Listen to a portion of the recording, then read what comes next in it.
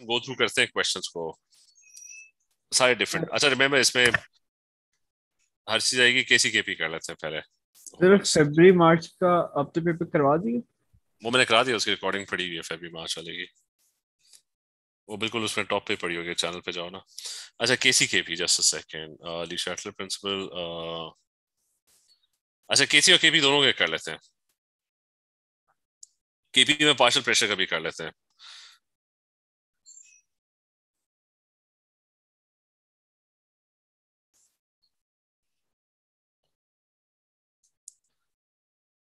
अच्छा केसी का पहला तो वो है कि एक क्वेश्चन तो ये हो गया कि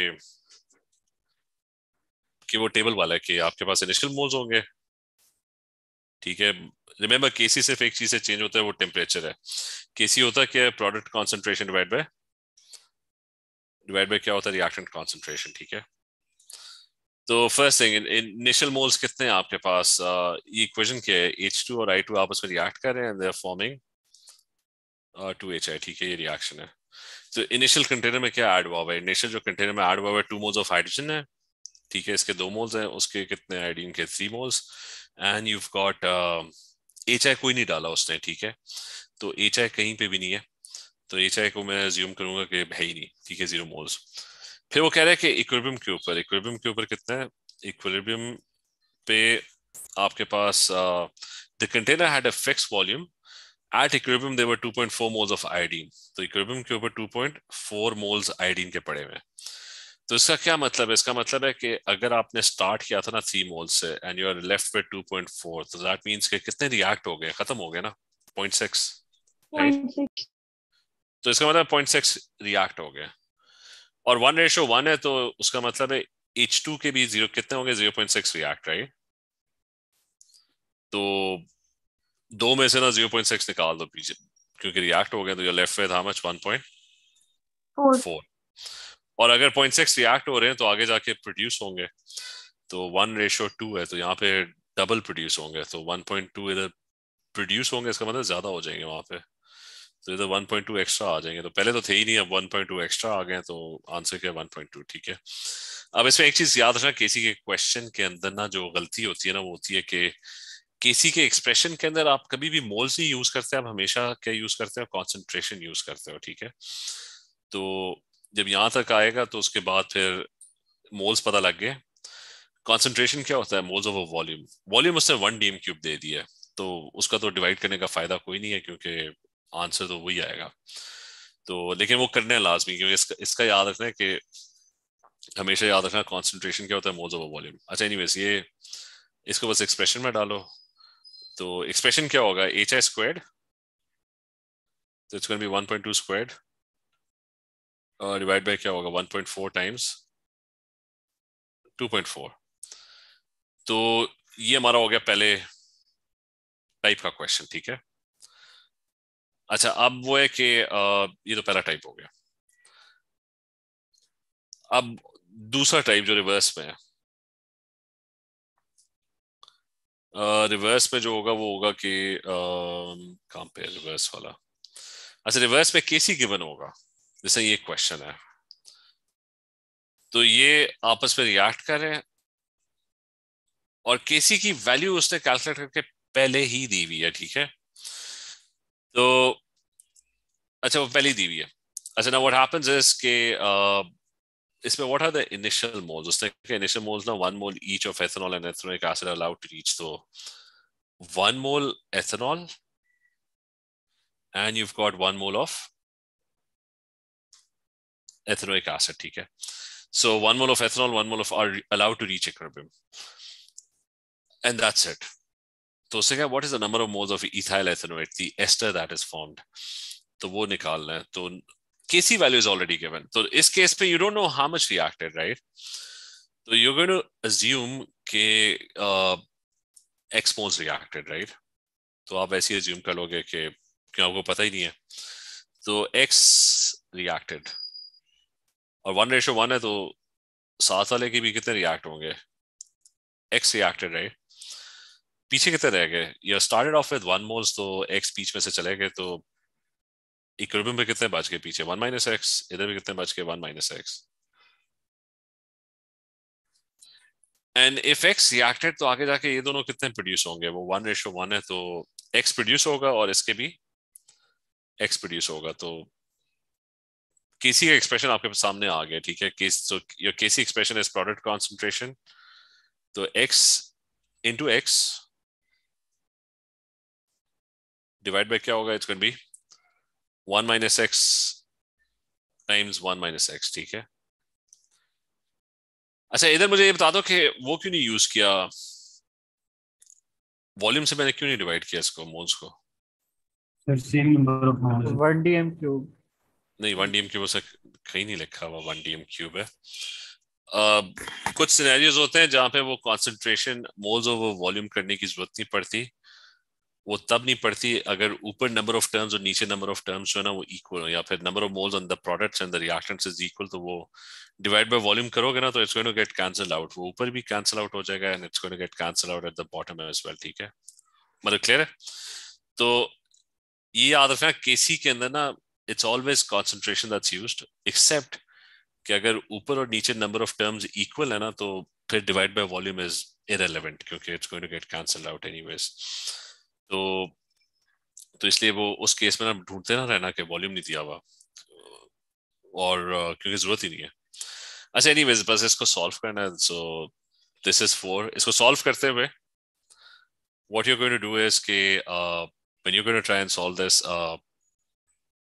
ये क्या बन रहा है? X square over one minus x square remember there'll be two solutions uh, if you take the under root ये square खत्म कर दो this will be plus minus uh, ये plus minus it will be plus minus 2 तो एक आपने solve करना है प्लस टू के लिए तो वो देख लो कि जो भी आ रहा है उस पर टाइम ज़्यादा लगेगा इस तरह के क्वेश्चन में ना uh, क्या होगा इट्स बी uh, 2 into 1 कितना होगा that's 2 minus x into that's minus 2x uh, तो x in this case will come out to be equal to what two by three two by three और दूसरा फिर solve करना है।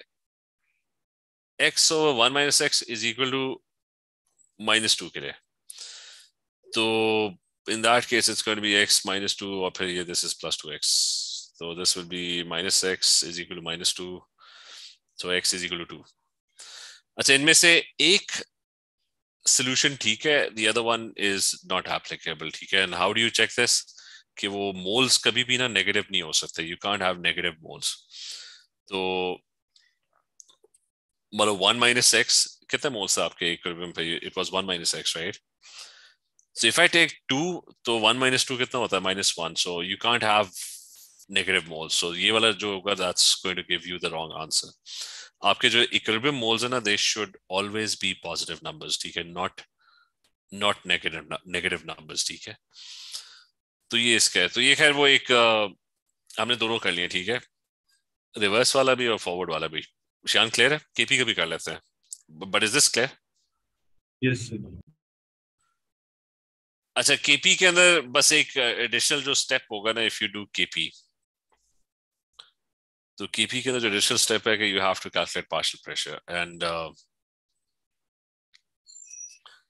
तो यहाँ पे जिस तरह अच्छा केपी के अंदर एक और चीज़ है कि केपी के अंदर ना you don't actually need to know the exact moles क्योंकि uh, अब जैसा ये वाला क्वेश्चन है कि इसिंग के 50 परसेंट ऑफ़ डाइनाइट्रोजन टेट्राऑक्साइड ये डाइनाइट्रोजन टेट्राऑक्साइड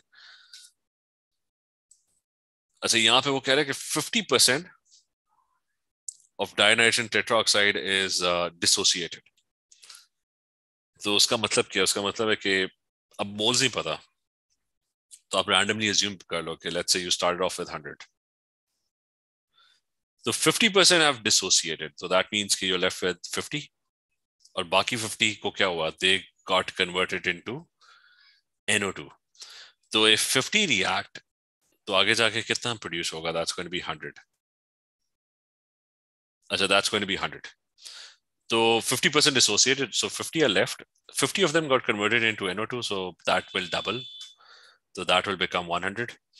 तो ये आपके इक्विलिब्रियम मोल्स होंगे अच्छा सो ये नंबर आपने अज्यूम किया ठीक है इट्स अच्छा now what's the next step the next step is कि these are your equilibrium moles और ये मिल के total pressure that they are exerting it's one atmosphere ठीक है, वो उसने लिखा हुआ है total pressure is one atmosphere तो इसके अंदर जो एक्स्ट्रा स्टेप है ना दैट इज़ कि you have to figure out you have to figure out partial pressure तो पार्शल प्रेशर क्या होता है? मोल फ्रैक्शन तो ये क्या हो गया? इसके moles divide by the total moles which is 150 times one atmosphere और इसका पार्शियल प्रेशर क्या होगा? That's mole fraction that's hundred out of one fifty is the total moles multiplied by one atmosphere अच्छा इसका आंसर क्या आएगा? That's can be I think one by three and this will be two by three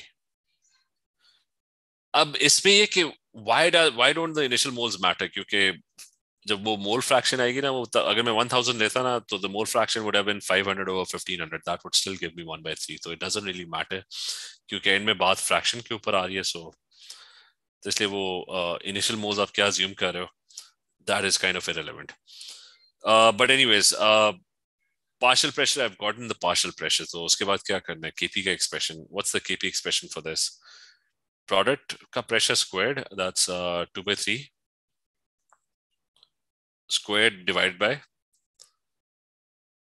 1 by 3 and that's it 1 by 3 so i think kya aana chahiye that's uh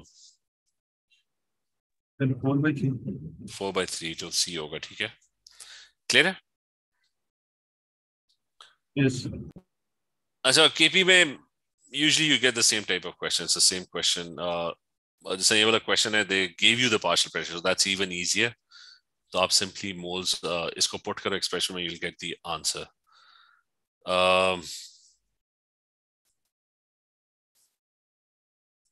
majority में KP में partial pressure end में partial pressure भी ना एक जगह पे ना you don't have to calculate partial pressure कब नहीं कैलकुलेट करना होता कि किधर गया हमारा?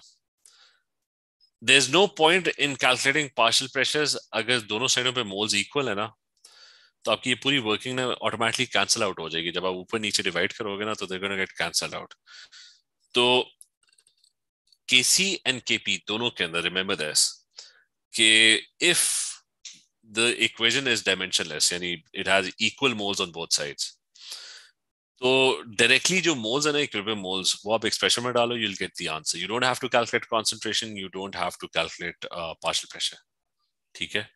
तो उस फिर वो टाइम ज़ाया करने का कोई फ़ायदा नहीं डायरेक्टली मोल्स यूज़ करो आंसर निकल आएगा ठीक है? चलिए और और तो कोई नहीं है वरना पेपर कर लेते हैं। सर एक कंबशन एनालिसिस के थोड़ा सवाल मुझे मुश्किल हो रही थी। सो कंबशन एनालिसिस एक सेकंड उसमें था मोल्स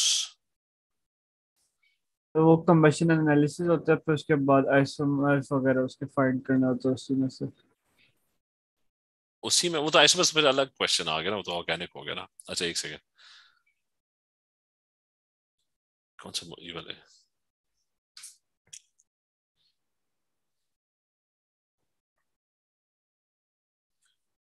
अच्छा कंबशन एनालिसिस ये कि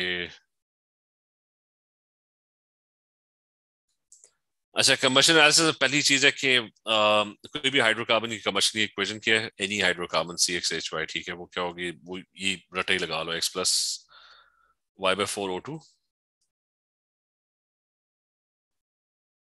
is equal to कितने? एक्स कार्बन डाइऑक्साइड्स एंड अच्छा and y by two H two Os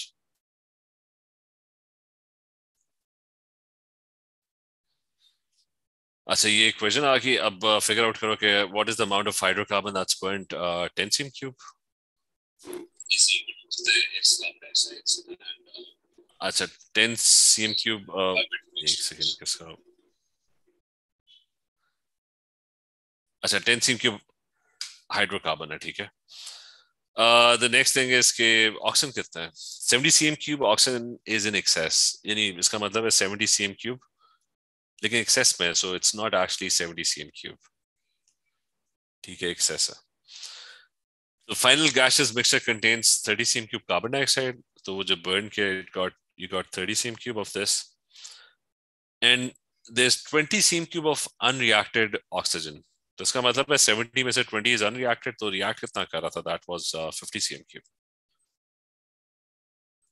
बस that's the information that's given अब इसमें ये कि इसके बाद ये कि मोल रेशियो ऑफ़ गैसेस में volume ratio is exactly the same तो 10 रिएक्ट्स विद 50 तो इसका क्या मतलब है? इसका मतलब है कि the mole ratio is 1 ratio 5 और आगे जाके 10 प्रोड्यूसेस हाउ मच 30 तो रेशियो क्या हो गया? 3 तो इसका मतलब है कि one hydrocarbon reacts with 5 O2s and produces 3 CO2s तो x की वैल्यू तो पता लग गई कि 3 है एंड फाइव ओ टू के साथ रिएक्ट कर रहा है तो that means x plus y by four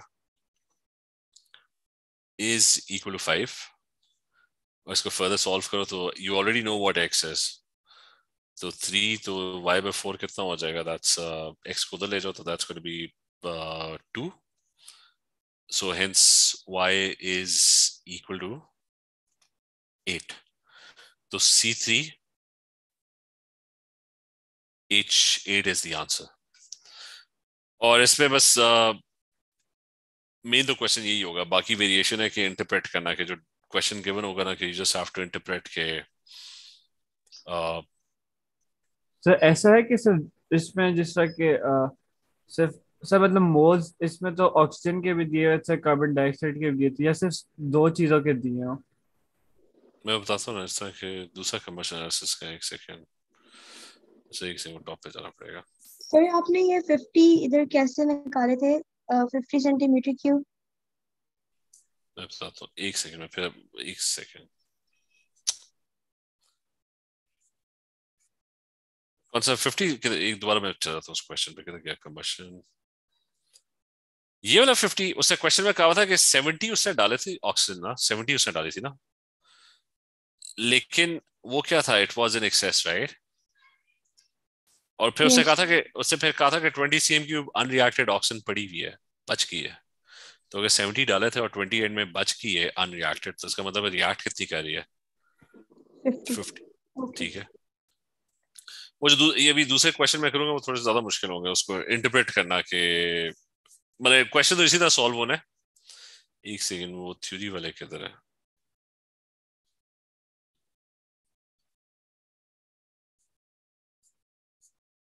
अब वो डिपेंड करता है कि कितनी उसने कहानी जैसे यहाँ पे कहानी थोड़ी लंबी डाली हुई उसने तो ये भी हो सकता है वो स्टोरी ज़्यादा डाल दे। इवेंट में क्वेश्चन वही होगा। इधर उसने ना इक्वेशन एक बना के दी हुई है। आ, अच्छा ये कि इसमें भी घबराने नहीं इक्वेशन उसने डिफरेंट दे दिया ठीक है लेकिन it's be solve in the same way अब इधर वो कह रहे हैं कि इज़ एन अच्छा एक चीज़ इसमें ख्याल रखनी है कि क्या वाटर गैस है या नहीं है? ठीक है, इसका ख्याल रखना है। टेम्परेचर का ख्याल रखना है कम्बशन एनालिसिस में कि वो जो आपका गैसियस मिक्सचर होगा ना, क्या उसमें वाटर एज अ गैस है या वाटर एज अ लिक्विड है? 120 सेंटीग्रेड में वाटर की स्टेट क्या होगी? वो प्रॉब्ली गैस होगी राइट तो वाटर इस केस में गैस है, ठीक है? तो से gaseous sample T occupied volume of 20 cm cube तो ये जो गैसियस सैंपल है, इसका वॉल्यूम कितना है? 20 ये नीचे लिख देता हूँ। अच्छा तो ट्वेंटी इसका वॉल्यूम है। अच्छा sample was completely burn in 200 cm cube oxygen 200 cm cube oxygen है, लेकिन इट्स इन एक्सेस फिर वो कह रहा है the final volume measure under the same condition as the gaseous sample यानी वो कह रहा है टेम्परेचर कंडीशन सब कुछ सेम है। क्योंकि रिमेंबर गैसेस का ये होता है कि अगर हल्का सा भी टेम्परेचर चेंज कर दो प्रेशर चेंज कर दो तो उनका वॉल्यूम चेंज हो जाता है, ठीक है? तो इसलिए वो कांस्टेंट रखना बड़ा मस्ट है। अच्छा बट एनीवेज uh, वो कह रहा है कि जब उसको बर्न किया ना the final volume after burning वो कितना आ रहा है? गैशियस सैंपल का 250 सीएम क्यूब तो final volume is after burning is 250 ये वाला. तो इस इसमें क्या पड़ा होगा? इसमें पड़ा होगा प्रोडक्ट्स पड़े होंगे। प्रोडक्ट्स क्या हैं? कार्बन डाइऑक्साइड और क्या है? वाटर है। वाटर को मैं इसलिए डाल रहा हूँ क्योंकि उसे फाइनल वॉल्यूम जो दिया ना, वो गैस का दिया है। और हमने यहाँ पे टेम्परेचर से फिगर आउट किया कि वाटर गैस ही होगा। तो यानी इस मिक्सर में ना water would be in the form of a gas अगर वो टेम्परेचर 20 डिग्री सेंटीग्रेड रखा होता ना तो ये जो फाइनल वॉल्यूम था ना, इसमें वाटर ना होता। मतलब water would not be a gas तो ये वॉल्यूम जो होता, ये वाटर का नहीं होता। बट एनी वेज अभी तो है water would be part of the gases mixture अच्छा फिर इसके अंदर और क्या चीज़ होगी? इसमें और ये चीज़ होगी क्योंकि oxygen is in excess so there is unreacted अच्छा there is unreacted O two as well क्योंकि एक्सेस में तो बच की होगी ओ टू अच्छा देन यू हैव अब ये सारा, ये सारी चीज़ें। फिर वो कह रहे हैं under these conditions all the water present is vaporised removal of the water vapour from the mixture decreases the volume to 170 तो उससे क्या वाटर को जब रिमूव किया ना तो वॉल्यूम क्या हो गया? कम होके 170 हो गया. तो इसका क्या मतलब है? वाटर कितना था? वाटर uh, जो था 80 था। मतलब उसका वॉल्यूम कम होके 170 हो गया when the water got removed ठीक है? ये क्लियर है? और फिर वो कह रहे हैं कि remaining gaseous mixture को when it's treated with concentrated alkali to absorb the carbon dioxide the volume decreases to 110 carbon dioxide बीच में से निकाला है the volume decreases to 110 तो 170 से कम होके वो 110 हो गया जब कार्बन डाइऑक्साइड बीच में से बाहर निकालिए ठीक है so that means 60 cm cube with 60 cm cube carbon dioxide right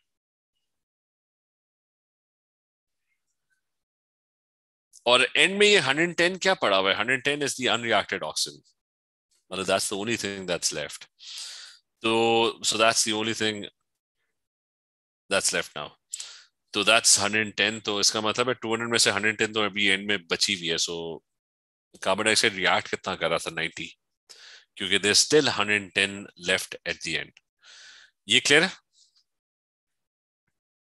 yes sir ठीक है? तो अब इससे आगे ये कि, इस आगे सॉल्व करना आसान है। मतलब यहाँ तक पहुंचो, फिर फिर क्या रेशो लगा लो क्या रेशो है? That's twenty ratio ninety ratio sixty ratio eighty तो क्या रेशो बनता है? That's one ratio four point five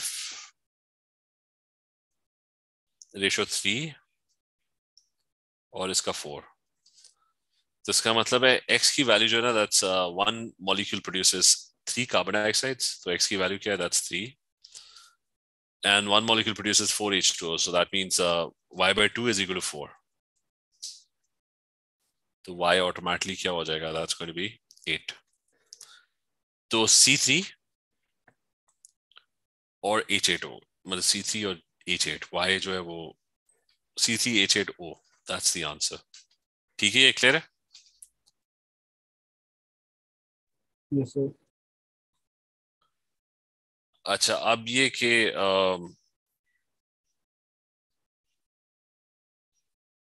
बस और और कोई क्वेश्चन नहीं है? पेपर कर लेते हैं। मैंने आपको व्हाट्सएप व्हाट्सएप के एक से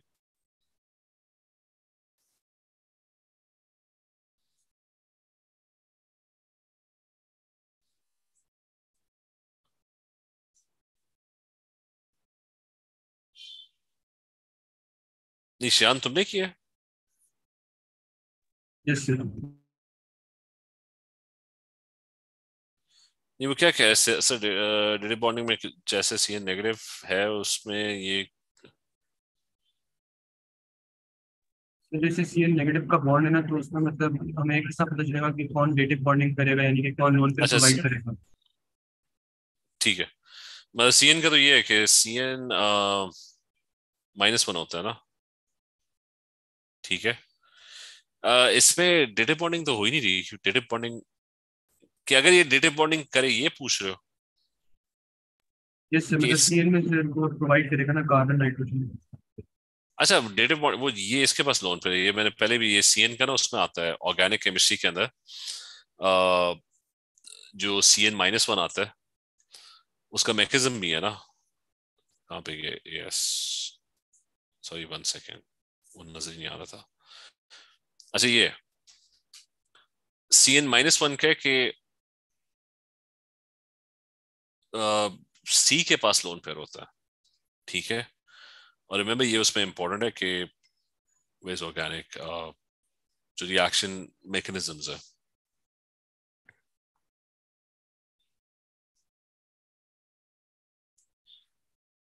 जिसमें ये न्यूक्लियोफिलिक एडिशन है उसके अंदर ये इंपॉर्टेंट है कि सी एन माइनस वन में लोन पेयर जो आता है ना वो सी की तरफ़ से आता है।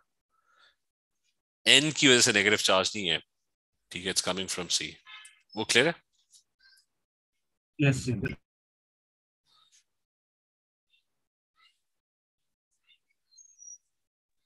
तो चले। टाइट्रेशन करना करवा टाइट्रेशन कर्व का? मैं वैसे मैं टाइट्रेशन कर्व का वैसे बता देता हूँ कि टाइट्रेशन कर्व एक बना लेते हैं सिंपल है वो ये वो लेवल्स की चीज़ है लेकिन जो कंफ्यूजन है ना उसकी शेप में है ठीक है? तो टाइट्रेशन कर्व में ये कि अगर लेट्स से मेरे पास ना एक टाइट्रेशन हो रही है ठीक है? अब वो पता तो है कि एसिड कौन सा होता है बेस कौन सा होता है। तो let's say yo there's a reaction going on I said, there's a reaction going on. He sent him a message, Colonel.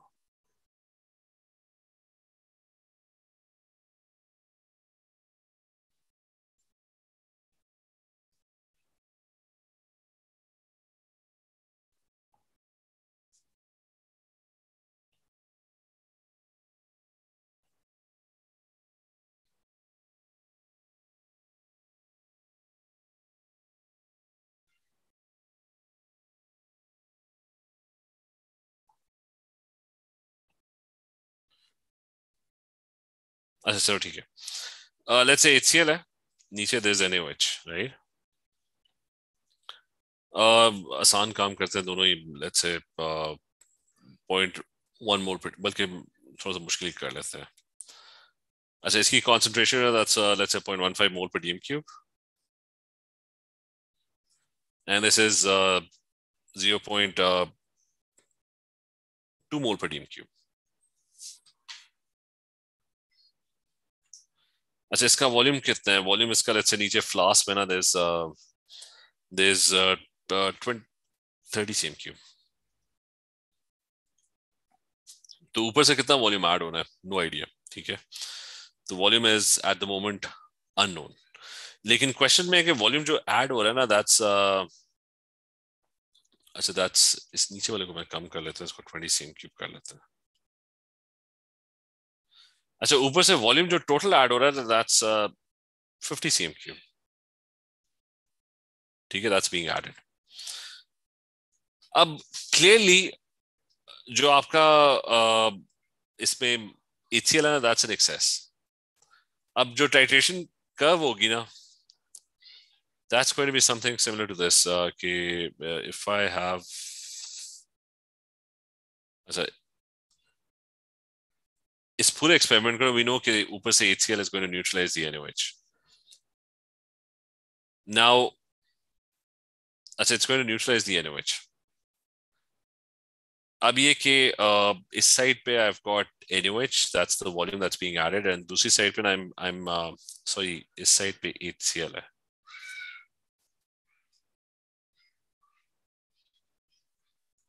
मैं ऊपर से ना एच ऐड किए जा रहा हूँ। And drop by drop HCl is being added. ठीक है तो मैं HCl को ट्रैक कर रहा हूँ, how much HCl I'm adding and how is the pH changing. तो इस एक्सिस पे ना pH है। अच्छा सबसे पहले मुझे बताओ कि HCl का वॉल्यूम जो है ना this is the volume of HCl सबसे पहले मुझे बताओ कि अगर वॉल्यूम ऑफ़ HCl जो है ना, वो ज़ीरो है एग्जैक्टली ज़ीरो है। मतलब मैंने कोई ऊपर से नहीं ऐड किया। तो NaOH का pH क्या होना चाहिए? वैसे मुझे बताओ। थर्टीन होने होना चाहिए ठीक है? कोई आपको कैलकुलेट करने को नहीं कहेगा। You just going to estimate calculation जो ना वो ए लेवल्स में है ठीक है? अभी नहीं है। अच्छा तो ए टू के अंदर। अच्छा तो थर्टीन है कि we know it's a strong base ठीक है? और ये थोड़ा बहुत आइडिया होना चाहिए कि what's a strong base strong bases कौन सी होती है? स्ट्रॉन्ग बेसिस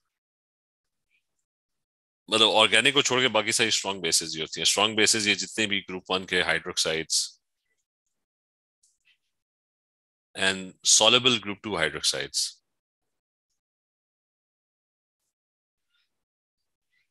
मतलब जिस बैरियम हाइड्रोक्साइड ग्रुप टू का होता है ना दैट्स वेरी सॉलेबल उसका हमने ग्रुप टू के अंदर पीएच भी देखा है, वो स्ट्रॉन्ग होता है।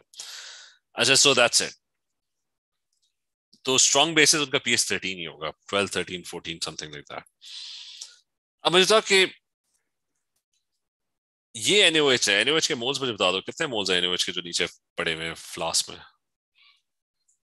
What is point two in two twenty divide by thousand कितने मोल्स बनते हैं?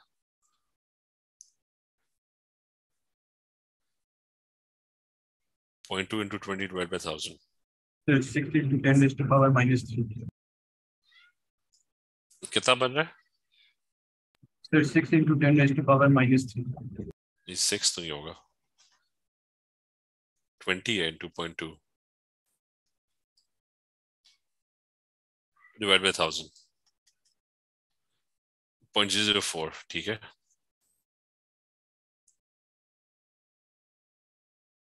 अच्छा ये पॉइंट ज़ीरो फोर मोल्स है। और uh,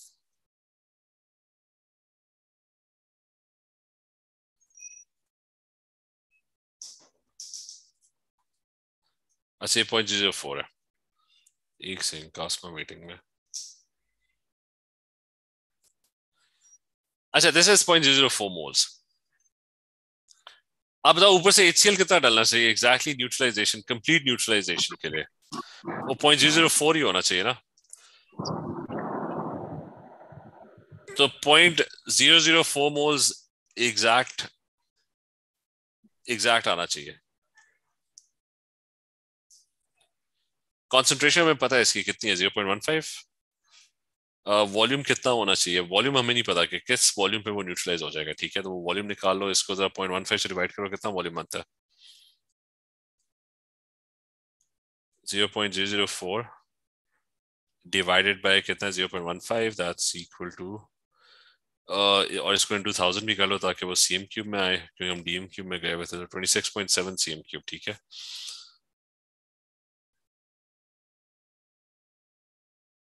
अच्छा सो दैट्स 26 अच्छा ये 50 को इग्नोर करना है 50 को इग्नोर इससे करना है कि 50 जो है वो, हमें नहीं पता कि वो सही वॉल्यूम में ऐड कर रहा है कि नहीं कर रहा। मैंने इधर के मोल्स निकाले एनओएच के। एचसीएल के मोल्स एग्जैक्टली सेम होने चाहिए, ठीक है? तो एचसीएल के मोल्स मुझे पता था कॉन्सेंट्रेशन टाइम्स वॉल्यूम उधर से मैंने वॉल्यूम निकाला तो मुझे पता लगा कि डीएम क्यूब नहीं सॉरी सीएम क्यूब तो उधर से मुझे पता लगा कि इतना सिर्फ़ वॉल्यूम चाहिए 26.7 50 डालने की ज़रूरत नहीं है 26.7 से काम चल जाएगा ठीक है? ये बात क्लियर है? Yes, sir.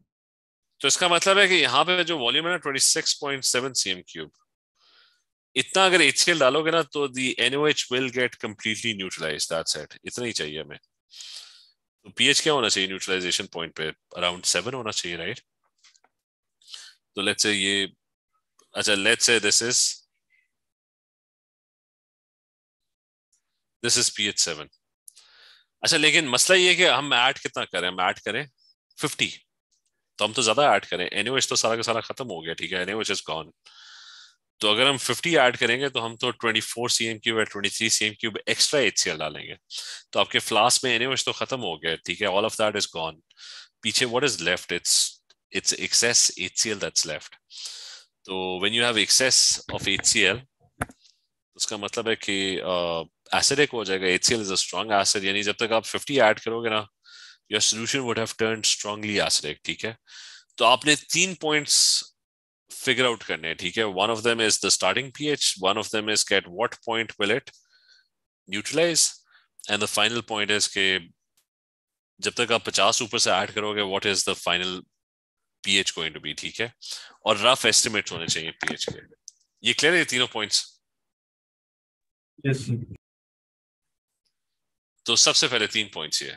और फिर उसके बाद ना you have to sketch a curve तो पीएच की जो कर्व है ना वो वो अभी तीन पॉइंट से क्रॉस करेगी लेकिन जो पीएच की जो कर्व की वेरिएशन होती है ना दैट्स समथिंग लाइक दिस कि most of the pH change that happens happens around the neutralisation point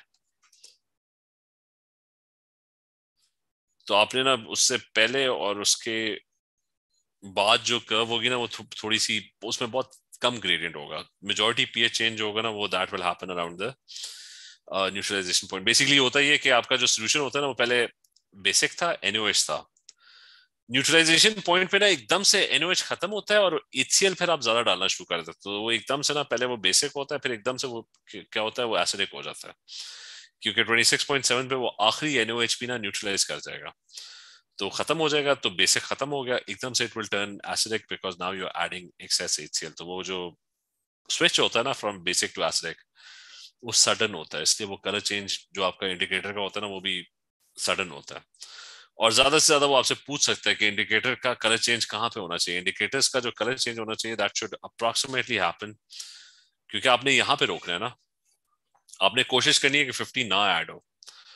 तो बेसिकली आपने all you have to do is you have to try and stop at this point तो indicators का जो colour change होगा वो that should preferably happen at this point ठीक है? ये क्लियर है? यस सर और अब यही चीज़ ना वो ऑपोजिट भी हो सकती है ठीक है? This can be exactly the opposite as well कि वो उसमें डाल रहा हो। तो आपने बस अब इसमें सिर्फ़ दो फ़र्क आ सकते हैं। लेट्स ए सेम क्वेश्चन ठीक है? Exactly same question but the only difference is is not using a strong acid strong acid आपके सारे ये HCl H2SO4 HNO3 these are all strong acids. Weak acids में ऑर्गेनिक एसिड आ जाता है, ठीक है? तो अगर वो यूज़ कर रहे एथनोइक एसिड तो फ़र्क क्या पड़ा कि वो वीक एसिड है? तो जब सोल्यूशन एसिडिक होगा ना तो फिर इतना नीचे नहीं जाएगा, क्योंकि वीक एसिड जो होता है वो उसका पीएच कहीं फाइव फोर फाइव होता है ठीक है? तो जब वो स्विच होगा ना एसिडिक में तो it's not going to turn it's not going to turn very acidic that's the only difference हल्का सा एसिडिक होगा। और uh, वही वाइस वर्सा अगर वीक बेस हो बेस कौन सी वीक होती है? Bake organic bases organic bases जो होती है ना वो एमाइंस होती हैं। जैसे एमाइन है ना वो अमोनिया वगैरह ये सारे देर ऑल वीक बेसिस क्योंकि इनके पास लोन पेयर होता है, वो इस पर्सन एक्सेप्ट कर लेता है, लेकिन हमेशा नहीं करता कभी कभार करता है। तो तो these are weak weak bases अगर वीक बेस होगी तो आपका स्टार्टिंग पीएच जो होगा ना, वो फिर इतना थर्टीन तक नहीं होगा, वो कहीं एट नाइन तक होगा, ठीक है? तो ये बस वो आपसे ना स्केच मांगेंगे और इसमें ना पीएच कर्व्स की एक वीडियो भी पड़ी हुई है, वो मैं सेंड कर दूँगा। ठीक है क्लियर है एक क्वेश्चन और था मेरे ख्याल से, वो पहले सॉल्व कर लें, पता नहीं किसका था।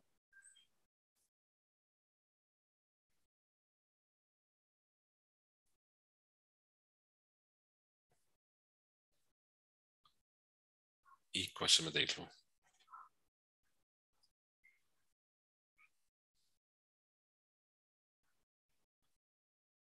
ऑन है कि नहीं? ऑन ये क्वेश्चन करना था।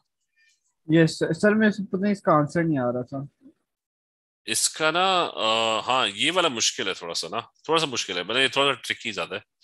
वो मैं एक्सप्लेन करता हूँ। इसमें ना मसला ये आया कि ऑक्सीजन भी आ गया ये एक्चुअली थोड़ा एम्पेरिकल फॉर्मूला वाला क्वेश्चन है। वो मैं कर लेता हूँ। अच्छा इस क्वेश्चन में क्या है कि टू ग्राम हाइड्रोकार्बन है, लेकिन इसमें वो वो भी है साथ ना ऑक्सीजन भी है। तो सी एक्स एच वाई और ओ जी कर लेते हैं, ठीक है? तो उसने क्या इसको बर्न किया तो कितना प्रोड्यूस है? Four gram carbon dioxide one point six three grams of water ठीक है? तो अब मसला ये कि ये ज़्यादा वैसे एम्पेरिकल फॉर्मूला के ये वो कमर्शियल एनालिसिस नहीं है। Four gram carbon dioxide produce हुआ है। अच्छा फोर ग्राम मतलब इससे कार्बन डाइऑक्साइड प्रोड्यूस हुआ है। और क्या प्रोड्यूस हुआ है? वाटर प्रोड्यूस हुआ है। कार्बन डाइऑक्साइड कितना प्रोड्यूस हुआ है? दैट्स फोर ग्राम राइट और वाटर कितना प्रोड्यूस हुआ है? One point sixty grams right वो सारा का सारा इधर से आया ना। मुझे तो इसके अंदर तो अमाउंट ऑफ़ कार्बन पता लगा सकते क्योंकि all this carbon came from this hydrocarbon right तो मुझे तो इसका, इसमें अमाउंट ऑफ़ कार्बन कितना पता लगा सकते हो? वो सिर्फ़ परसेंटेज फ्रैक्शन से पता लग जाएगा। अच्छा। जिसके सबसे छोटे मोल्स होंगे उससे डिवाइड करेंगे। नहीं नहीं वो क्या होता है कि परसेंटेज कार्बन की परसेंटेज कितना कार्बन कितना है इसमें एमआर में? 12 डिवाइड बाय इसकी टोटल कितनी है? 44 टाइम्स 4 पता लग गया कार्बन की मास आ जाएगी। Is that clear yes sir तो वाटर में हाइड्रोजन जो है वो सारा कहाँ से आ रहा है? वो उसी फॉर्मूले से आ रहा है ना? तो हाइड्रोजन की इधर क्या है? हाइड्रोजन कितना होता है? दैट्स टू टोटल इसका वाटर का क्या होता है? 18 टाइम्स 1.63 इन दोनों की वैल्यूज़ मुझे बताओ ना क्या आ रही है?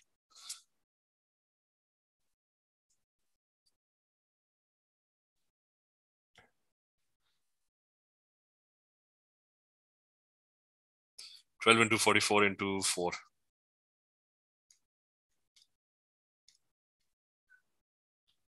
Times four. कितना है 1.09 um, 1.09 ग्राम्स ठीक है? कार्बन आ गया 1.09 ग्राम्स हाइड्रोजन कितना है? 2 और 18 into 1.63 तो 2 divide by 18 is equal to times 1 point. कितना था? 60 तो पॉइंट वन एट वन ये तो आ गए ना? तो ये ऑक्सीजन कितना होगा? ऑक्सीजन क्या होगा? उसने टोटल मास बताई हुई ऊपर क्वेश्चन में ना is already given you KG total mass होती है इसकी। इट्स टू ग्राम्स तो ये इतना है, ये इतना है तो what is the amount of oxygen so that's two में से सब्ट्रैक्ट करना जरा, क्या करना है? टू में से minus one point zero nine और फिर उसी में से minus point one eight one तो point seven two nine grams ठीक है? और अब ये क्वेश्चन आया एम्पेरिकल फॉर्मूला का। अब यहाँ से बैठ के मैं मैसेज पता लग गई। तो now you have to figure out कि भाई what's the what's the empirical formula तो एम्पेरिकल फॉर्मूला कैसे निकालते हैं? Divide by 12 divide by height AR से डिवाइड कर हाँ और इसको डिवाइड बाय 16 कर दो। और फिर वो जो भी सिंपलेस्ट रेशियो फिगर आउट करो तो you will be able to figure out के व्हाट्स द फॉर्मूला ठीक है? क्लियर है ये? मैं ये वाला क्वेश्चन मुश्किल था थोड़ा। अच्छा बा हाँ जी। सर अगर हम लोग इस तरह करते हैं कि कार्बन डाइऑक्साइड और वाटर का रेशियो निकालते हैं और फिर देख लेते हैं कौन सा वो है मॉलिक्यूल या एलिमेंट है कंपाउंड सॉरी से वो बर्न होकर सर इतने मोल्स बना रहा होगा तो इससे कर सकते हैं? नहीं क्या करते हैं? अगर फिर अगर हम कार्बन डाइऑक्साइड और वाटर का रेशियो निकाल लेते मतलब कितने मोल्स बन रहे हमारे पास प्रोडक्ट में और फिर हम। कंपाउंड को बर्न कर देते हैं और देख लेते हैं कि मोल्स इसमें इसमें असल में ना मसला बताऊँ किसका आ रहा है? मसला आ रहा है ऑक्सीजन का। कि वो नहीं पता लग रहा कि ऑक्सीजन कितना है ना। इसमें असल में ना मसला ये क्वेश्चन में आता है कि वो उस तरीके से भी कर लो ना वो रेशियो तो पता लग जाता है कार्बन और हाइड्रोजन का रेशियो राइट वो मसला आता है ऑक्सीजन की मास निकालने में। तो आपको एंड में यही करना पड़ता कि कार्बन की मास पता लग जाती है हाइड्रोजन की फिर आपको ऑक्सीजन की मास तो वो आपको यही करना पड़ता। कार्बन और हाइड्रोजन का रेशियो तो आपको इसमें पता लग जाता है लेकिन बहुत सारों में कार्बन और हाइड्रोजन का रेशियो वही है। सम, शान समझ आइए? यस अच्छा फिर ये कि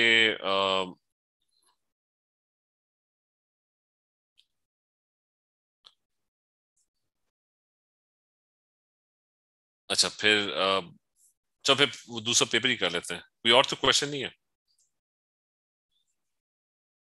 नो सर सर अच्छा लेटेस्ट वाला तो बिल्कुल कर लिया था। ट्वेंटी ट्वेंटी वन की कर लेते सर बल्कि वो अ, एक सेकंड में आपको एक सवाल पहले भेजा था वो जो सर एल्डिहाइड वाला था।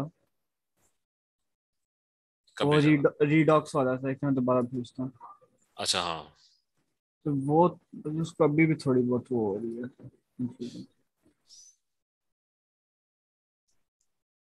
अच्छा। तुम्हारा है? तो दोबारा भेज दिया मैंने दोबारा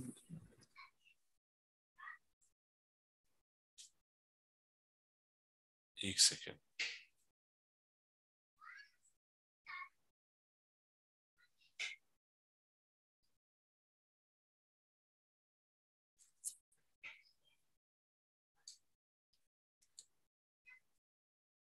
अच्छा ये वाला आ, इसको छोटा कैसे अच्छा ये वाला क्वेश्चन अच्छा बस रिमेम्बर के इलेक्ट्रॉन्स गेन और लॉस्ट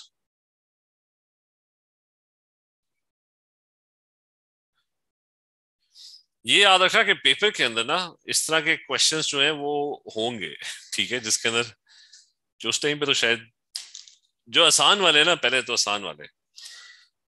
मेजोरिटी पेपर जो होगा ना एटलीस्ट ट्वेंटी फाइव क्वेश्चन उनमें पहला काम है जो जो एक टिपिकल क्वेश्चंस होते हैं। उनके अंदर कोई मसला ना करना। ये मुश्किल वाले जो है ना, इनके अंदर तो मसले आएँगे। इंटरप्रिटेशन का मसला होगा कि वो समझ नहीं आएगा कि क्वेश्चन क्या कह रहा है। खासतौर पर अगर इतनी लंबी कहानियाँ उन्होंने लिखी हुई है ना तो यही मसला होगा।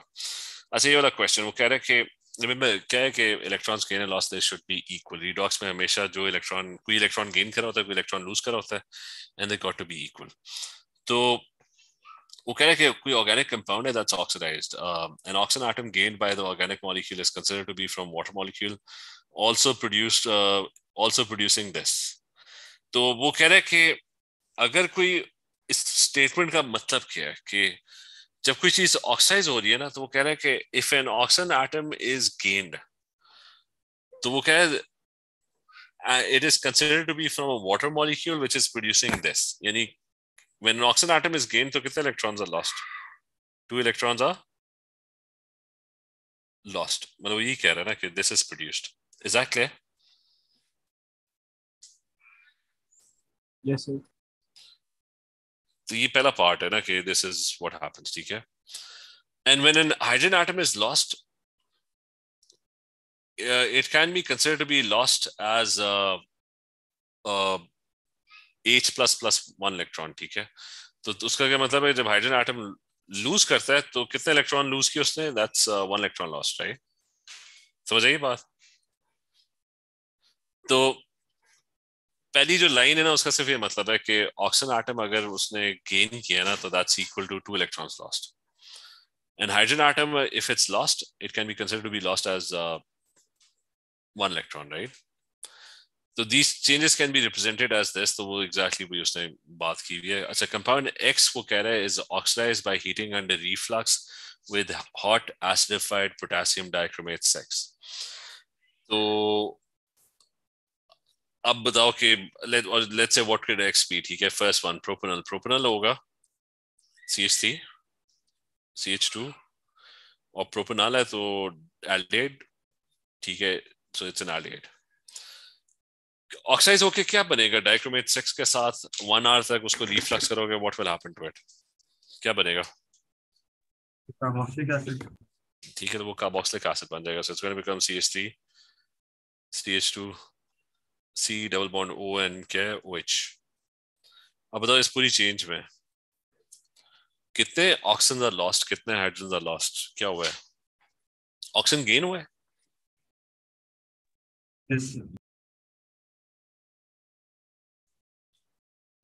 हाइड्रोजन को क्या हुआ है?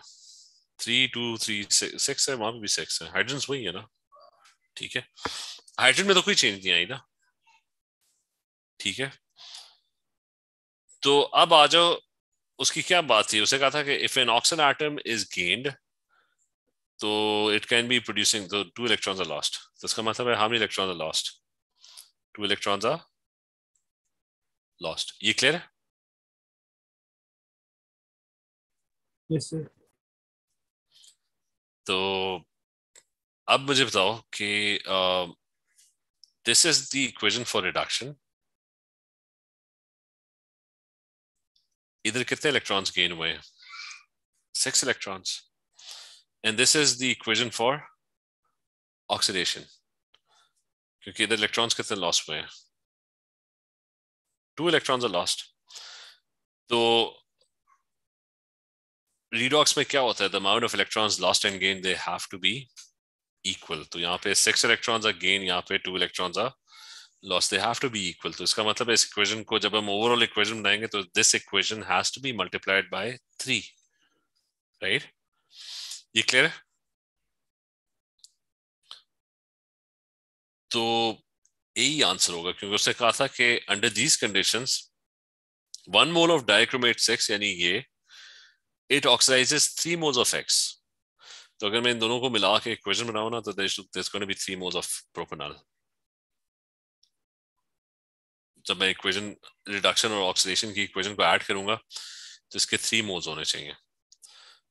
जो जिस तरह वो कह रहा था three moles of X should be present in the equation तो ए ठीक है। समझ आई बात? यस सर और क्योंकि बाकियों में ना अगर कोई और प्रोपन वन ऑल है ना प्रोपन वन ऑल क्या होगा? C H three C H two और C H two O H उसको भी अगर एक घंटे तक रिफ्लक्स करोगे ना it will turn into carboxylic acid so that's going to be C two C double O H इधर क्या हुआ है? Oxygen is gained one hydrogen कितने हुए दैट्स थ्री टू टू क्या हुआ एक को नहीं फोर प्लस फोर एट है यहाँ पे। तो यहाँ पे कितने हैं? सिक्स है। Two H are lost right तो ऊपर उससे लिखा हुआ था कि वन ऑक्सीजन गेन कितना होता है? दैट्स टू इलेक्ट्रॉन्स लॉस्ट तो इसका मतलब दैट्स टू इलेक्ट्रॉन्स लॉस्ट और हाइड्रोजन uh, लूज के बारे में वो क्या कह रहा था? हाइड्रोजन लूज के बारे में कह रहा था इट्स वन इलेक्ट्रॉन लॉस्ट तो when you have two hydrogen lost that's also two electrons lost तो मिल के कितने हो गए? That's actually four electrons lost अब वो फोर इलेक्ट्रॉन्स और यहाँ पे सिक्स इलेक्ट्रॉन्स आर गेन जब उनको बैलेंस करोगे ना तो this will be multiplied by four and this will be multiplied by six तब जाके इलेक्ट्रॉन्स इनके गेन और लॉस्ट इक्वल आएँगे। तो बल्कि ट्वेल्व के साथ भी हो जाएगा। इसको टू से मल्टीप्लाई करो इसको थ्री से। लेकिन वो जो भी है ना वन रेशो थ्री नहीं आएगा। One mole three moles of X वो नहीं आएगा। ठीक है? क्वेश्चन क्लियर है? और बड़ी श्योर जिस टाइम पे ये क्वेश्चन आया था उस टाइम पे मेरे ख्याल से किसी से भी नहीं है वो होगा। समझ नहीं आया होगा कि वो उसको समझना ही बहुत मुश्किल है चलो और तो कोई क्वेश्चन नहीं है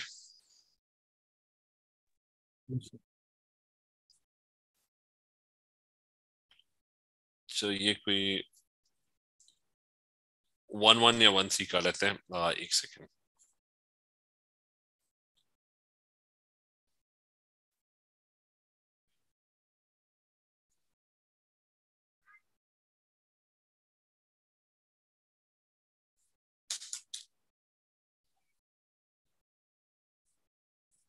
अच्छा ये है ये वाला जो है दैट्स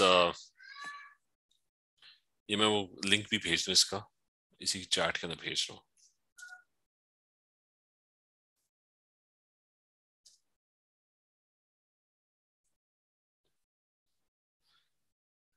ठीक है one one starting with the first one ये अब इसका क्वेश्चन आसान है, लेकिन टाइम कंज्यूमिंग है। क्या कह रहा है वो कि, वो कह रहा है एयर निकालो इसकी बैठ के ना।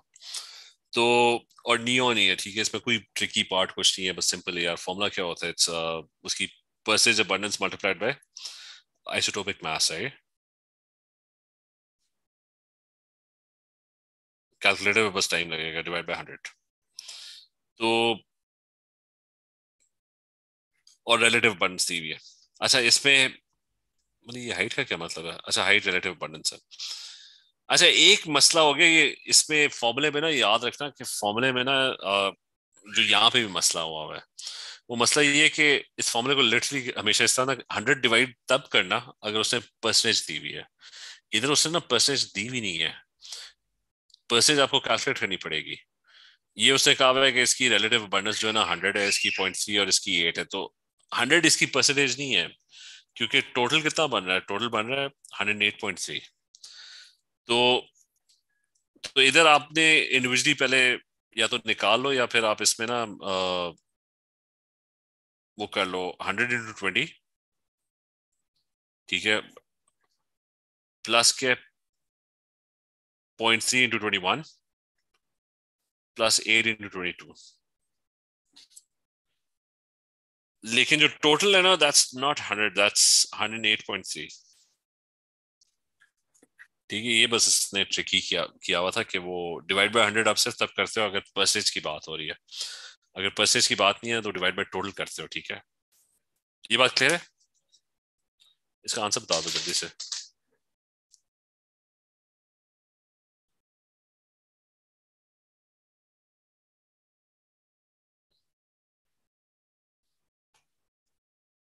किसी ने किया?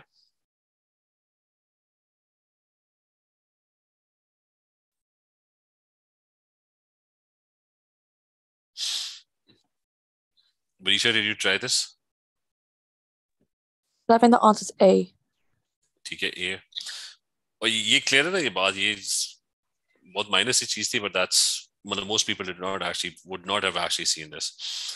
The next one is के um, 2 grams of ammonium nitrate decomposes to give 0.9 grams of water in a single gas. ठीक है So what is the identity of the gas? So there's ammonium nitrate अच्छा जल्दी से moles बता दो कि क्या होगा that's two divide by what's ammonium nitrate है टू डिवाइड बाय कितना होगा?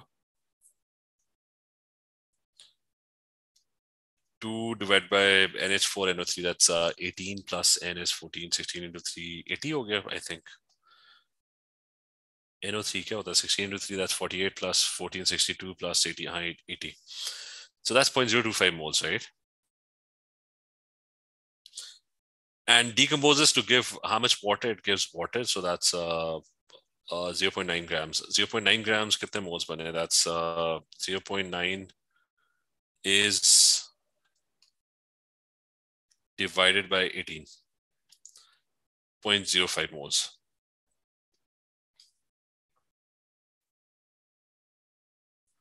As a 0.025 gives gives 0.0 5 moles. And then there's a gas x. तो figure out ये करना है कि what is this gas x? तो the only way that's possible is कि इनका ratio क्या बन रहा है? That's 1 ratio 2 right? तो कोई भी गैस मेरे ख्याल से इसमें फिट हो जाएगी but you have to make in equations जिसके अंदर एंड में ना व्हेन यू बैलेंस देम तो this comes out to be 1 ratio 2 तो अगर if I go for NO तो NO के साथ अगर मैं बैलेंस करूँ तो बैलेंस uh, होगी कि नहीं होगी?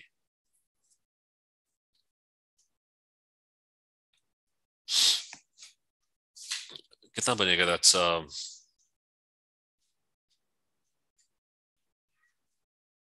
sir one ratio five नहीं होगा? किसमें एनओ के साथ? एच टू ओ के साथ। नहीं वन रेशियो फाइव नहीं है। पॉइंट ज़ीरो टू फाइव है और पॉइंट ज़ीरो फाइव है ना?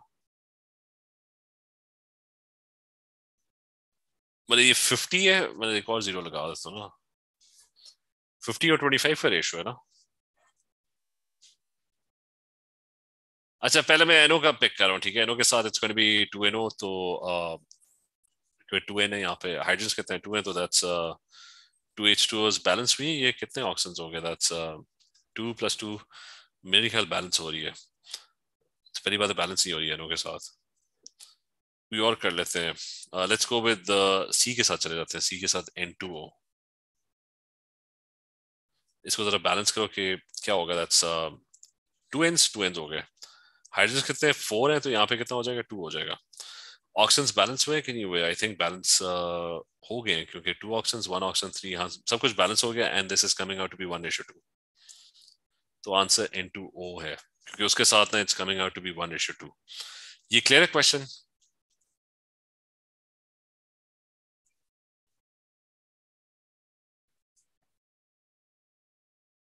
क्लियर है yes. अच्छा अब इससे आगे ये कि of these elements has the highest fifth ionization energies? uh, हाँ ये मसला बन गया फिफ्थ ionization energies देख बता दो कौन सा होगा वैसे? फिफ्थ सर कार्बन कार्बन होगा। क्योंकि इशू ये कि ये सारों का ना साइज़ एक ही है कि दो दो शेल नहीं एक सेकेंड अच्छा एटम को क्या होना चाहिए? छोटा होना चाहिए बड़ा होना चाहिए for the highest ionization energy smaller होना चाहिए राइट लेस शील्डेड तो फास्फोरस और सिलिकॉन तो वैसे ही निकल गए क्योंकि एक एक्स्ट्रा शेल आ जाता है ना तो उनकी आयनाइजेशन एनर्जी तो वैसे ही कम होगी। फास्फोरस इज़ टू एट क्या होता है? Five silicon is two eight four nitrogen is uh, just seven electrons so two five and this is two and four. तो मुकाबला जो है ना वो इन दोनों के बीच में स्मॉलर वाले smaller always have greater ionization energies और इसमें सी इसलिए कार्बन इसलिए क्योंकि इसकी जो फिफ्थ होगी ना that will be remove from the inner shell तो वो और भी ज़्यादा होगी। इसका जो फिफ्थ होगा ना that will be remove from the outermost fifth outermost में ही होगा ना। ठीक है क्लियर है? तो go- it's going to be A. As the next one, the ion X2 plus has the same electronic configuration as the atom krypton. What is the electronic configuration of an atom of X? तो वो कह रहा है कि krypton जैसी electronic configuration है krypton क्या होता है क्रिप्टॉन क्या क्या चीज़ है पहले वो देख लेते हैं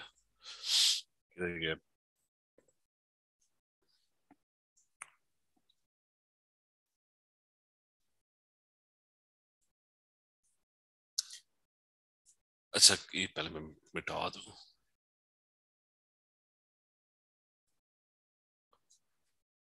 अच्छा क्रिप्टॉन जो है ना दैट्स दिस थिंग इट्स कितना थर्टी सिक्स है? अच्छा that's that's krypton thirty six noble gas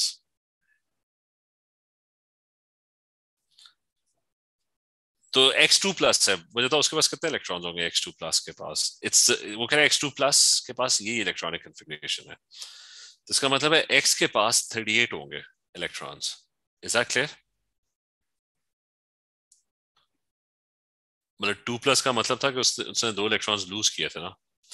तो अगर वो दो इलेक्ट्रॉन्स लूज करके 36 तक पहुँचा था तो अगर दो इलेक्ट्रॉन्स वापस कर दो उसको तो उसकी एक्चुअल जो इलेक्ट्रॉन्स होंगे दैट्स गोइंग बी 38 राइट तो दैट्स गोइंग बी 38 तो तो ये जो x है ना that's this x is actually strontium दो इलेक्ट्रॉन ज़्यादा है। ठीक है। इज़ दिस क्लियर और अब ये कि टाइम बचाने के लिए ना अब इसकी इलेक्ट्रॉनिक कन्फिग्रेशन पता करनी है।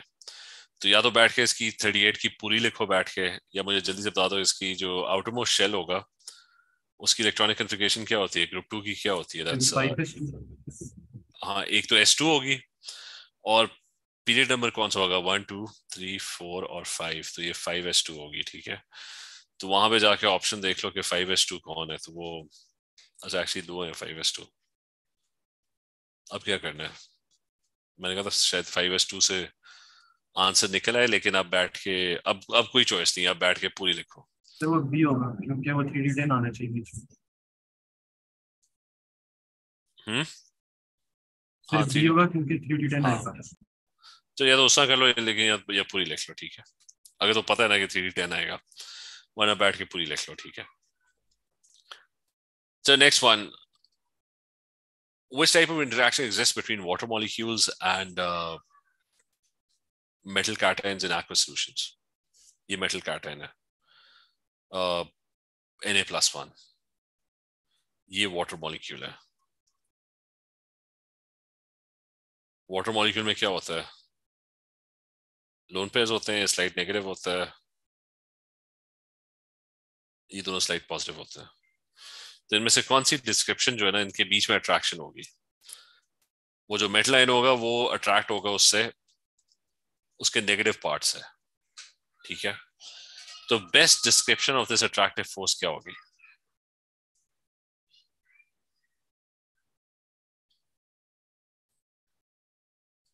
जो बेस्ट डिस्क्रिप्शन होगी वाटर में तो डायपोल्स होते हैं ना पोलर मॉलिक्यूल है। तो बेस्ट डिस्क्रिप्शन होगी कि पॉजिटिव आयन सी होगी बेस्ट डिस्क्रिप्शन ठीक है? That's going to be C it's an ion dipole attraction कि एक ion positive ion it's getting attracted to a to a dipole अच्छा फिर है कि next one which substance shows the greatest deviation from the properties of an ideal gas? Uh, कौन सी gas least ideal होती है? सबसे ज़्यादा डेविएट कौन सी करती है?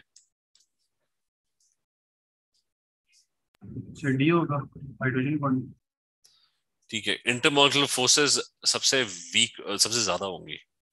ठीक है आइडल गैस वो होती है जिसकी लीस्ट इंटरमोलिकुलर फोर्सेस होती है। नॉन आइडल गैस जो होगी जिसमें सबसे ज़्यादा इंटरमोलिकुलर फोर्सेस होंगी that's going to be NH three that's going to have hydrogen bonds right neon में वैन डर फोर्सेस हैं H two has van der forces carbon dioxide also has van der forces क्योंकि the dipoles in carbon dioxide they get cancel out because of its linear shape तो hydrogen bonding सिर्फ़ इसमें है। अच्छा in order to determine hmm? फिर अगर इसमें question होता कि मोस्ट आइडियल कौन सी है तो वहाँ पे नंबर ऑफ़ इलेक्ट्रॉन्स को देख लो ना दोनों में के der फिर फिर forces- H2 फिर H2 होता। मतलब तीनों के पास तीनों के पास Waals forces है ना? तो वीकेस्ट किसकी होंगी van der Waals forces? Depend करते हैं साइज़ ऑफ़ मॉलिक्यूल के ऊपर तो तो that's going to be B least Waals forces ठीक है? अच्छा in order to determine the enthalpy change of neutralization of a strong acid and strong alkali uh, sodium hydroxide is added to HCl the increase in temperature is 12 in a second experiment the same method is used but 50 cmq अब ये ये question actually हाँ ये question actually tricky है तो पहले experiment में first one ठीक है द फ़र्स्ट एक्सपेरिमेंट उसमें क्या था उसमें था कि HCl and NaOH are added right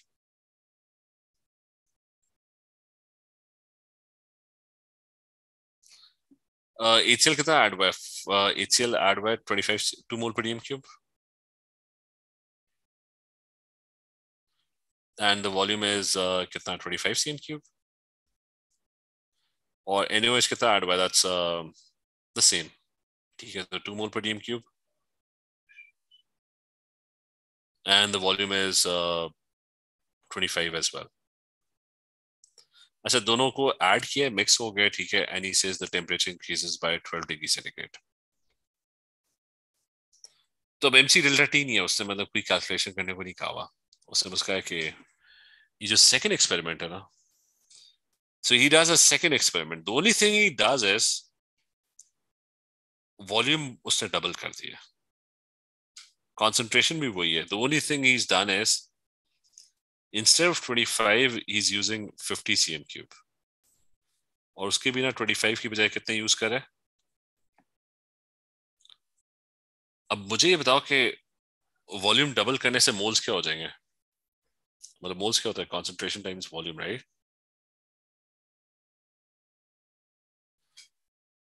तो इफ़ यू डबल वॉल्यूम तो because of doubling volume what will happen is के उसके मोल्स डबल हो जाएँगे राइट right? मोल्स अगर डबल हो जाएँगे तो amount of heat produced will उसको क्या होगा? That's also going to double ये क्लियर है?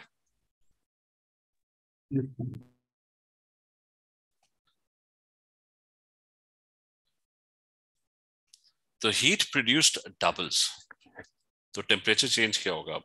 ये सेकंड एक्सपेरिमेंट में। 12 होगा या ज़्यादा होगा? ज़्यादा हो जाएगा 24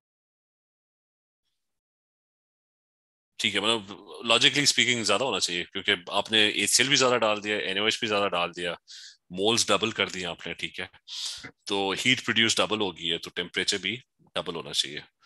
लेकिन नहीं होगा डबल अब वो एक्सप्लेन करो, क्यों नहीं होगा डबल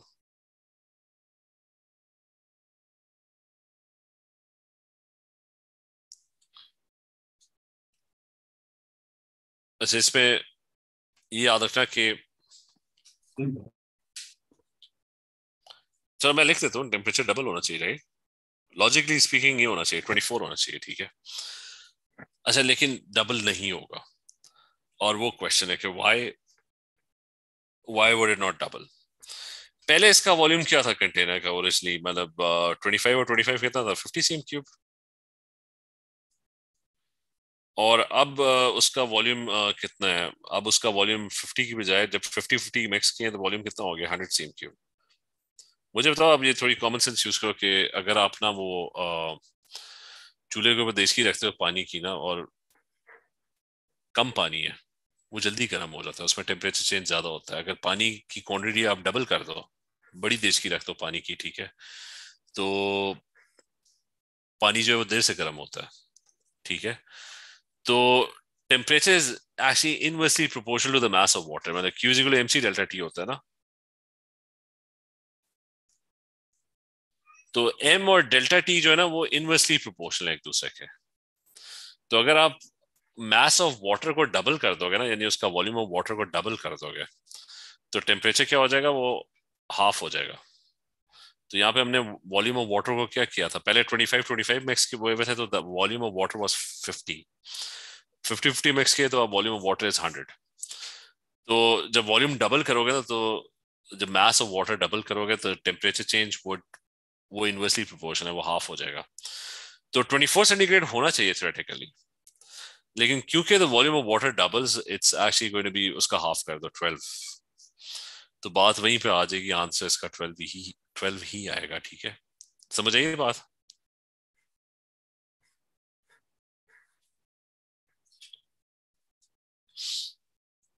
ये क्लियर है? सर अगर temperature inversely proportional mass of water के तो कम नहीं हो जाना चाहिए टेम्परेचर चेंज तो कम हो गया ना।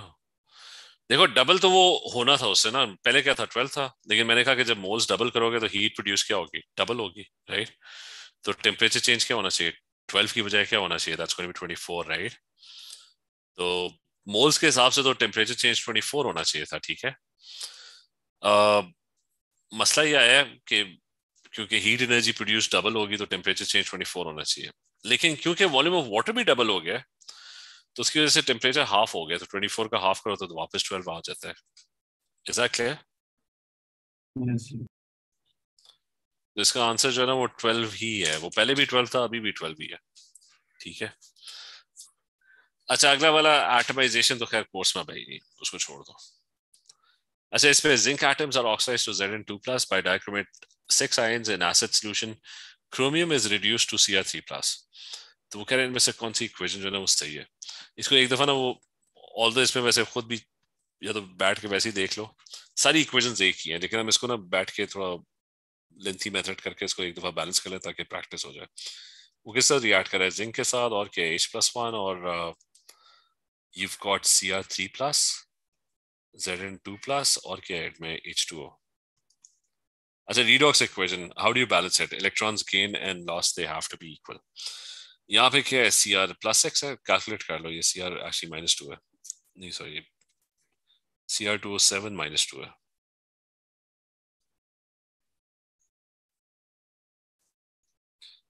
अच्छा सो जिंक क्या है जिंक जीरो है So zinc goes from 0 to plus 2. So that means it lost how many electrons? Lost 2 electrons. Or Cr goes from plus 6 to plus 3. So that means it gained how many electrons? Gained uh, 3 electrons. Electrons lost or gained equal होने चाहिए तो उसको हम multiply कर देते हैं किससे 3 से so there should be 3 zincs और इसको मल्टीप्लाई कर देते हैं Two से so they should be two C R's two C R's यहाँ पे पहले ही है। तो यहाँ पे टू सी आर्स कर लो दैट्स और एंड में आपने क्या करना है, उसको बैलेंस कर लो। ऑक्सीजन कितने सेवन है। So this going be seven H two और हाइड्रोजन कितने हो गए? दैट्स फोर्टीन तो फोर्टीन एच प्लस वन तो देख लो कि कौन सी इक्वेशन जो है वो मेरे ख्याल से आई थिंक इट्स ये वाली सी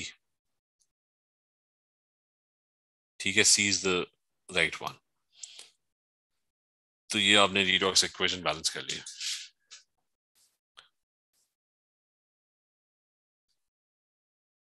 क्लियर है ये? Yes अच्छा अब नेक्स्ट वन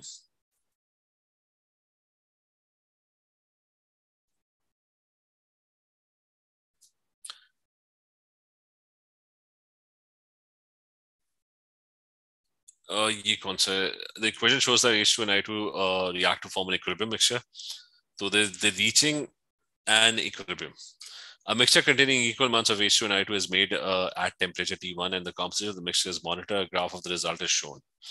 तो ये मोल फ्रैक्शंस दी हुई हैं तो H2 and I2 अच्छा ये इस पे गौर करना कि इट्स इक्वल अमाउंट्स ठीक है तो I2 की मोल फ्रैक्शन जो थी वो पहले 0.5 थी और वो कम होकर ना इक्विलिब्रियम कब रीच हुआ?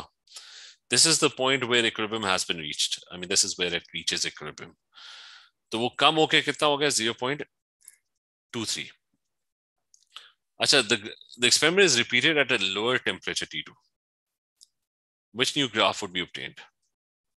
तो पहले तो कि if you decrease temperature, कौन सा रिएक्शन फेवर होता है? Exothermic तो और ज़्यादा forward हो जाएगा right तो reaction equilibrium is going to favor the exothermic so it's going to move further further to the right तो अगर वो further to the right move करता है तो I2 की जो मोल फ्रैक्शन होगी मोल फ्रैक्शन और भी कम हो जाएगी तो 0.23 से तो कम हो जानी चाहिए तो एक ही ऑप्शन है इसमें 0.23 से भी कम होगी दैट्स बी और वही आपका वही आपका आंसर होगा I think that's that's about it lower temperature T2 is this clear Yes. अच्छा बोल्ट्जमैन डिस्ट्रीब्यूशन तो वो कह रहा है which change to the diagram occurs if an effective catalyst is added to the same catalyst डालने से सिर्फ़ क्या फ़र्क पड़ेगा इसकी डिस्ट्रीब्यूशन में? कोई फ़र्क पड़ेगा? नो सर उसकी डिस्ट्रीब्यूशन में कोई फ़र्क नहीं पड़ता सिर्फ़ क्या होता है वो जो एक्टिवेशन एनर्जी होती है वो पीछे चली जाती है लोअर हो जाती है तो नाउ पहले सिर्फ़ ये particles had sufficient energy now even these particles are able to react तो more particles will possess higher values of नहीं एनर्जी तो वही रहेगी The value of the activation energy decreases. That's the only thing that, that that's going to happen. अच्छा which element requires the least number of moles of oxygen for the complete combustion of one mole of its atoms? तो तो magnesium हम्म तो तो नहीं मेरे ख्याल sodium होगा। Sodium देखो ना सोडियम को O2 के साथ रिएक्ट करो क्या बनता है? इट्स Na टू ओ उसको जरा बैलेंस करो तो टू और ये फोर हाँ ये बैलेंस हो रही है। लेकिन वन मोल की बात हो रहा है। डिवाइड एवरीथिंग बाय फोर तो ये वन बाय फोर ये वन डिवाइड बाय फोर ठीक है। तो इसको सिर्फ़ point two five O two चाहिए। One mole sodium requires only तो ये बस याद रखना कि वन मोल ऑफ़ एटम्स को बर्न करना था ठीक है? तो मेरे ख्याल वो सारों की बना लो it's going to be sodium ठीक है? क्लियर है? यस सर अच्छा नाउ अच्छा now the other thing is कि an element Y reacts according to the following sequence. तो inorganic शुरू होगी मेरे ख्याल से uh, Y burns in O2, a white solid is produced. तो किसके ऑक्साइड्स इनऑर्गेनिक ऑक्साइड्स ठीक है उसने बताया कि पीरियड उसे कुछ भी नहीं बताया इसका कि कहाँ पे अच्छा the Y the oxide dissolves in HCl to form a solution. Uh, तो इसका मतलब है कि इट्स इट्स अ बेस तो कोई मेटल ऑक्साइड होगा ठीक है now sodium oxide magnesium oxide and even aluminium oxide क्योंकि aluminium oxide is amphoteric so even that's a candidate phosphorus oxide is out of the question क्योंकि phosphorus oxide itself is acidic क्योंकि वो पानी में dissolve होकर it's going to form phosphoric acid so it's probably not going to react with HCl तो इन तीनों में से फिर वो कह रहे हैं एनिवर्स के साथ it forms a white precipitate which is soluble in excess of universe ये वो सॉल्ट एनालिसिस का ना लैब का टेस्ट आ गया।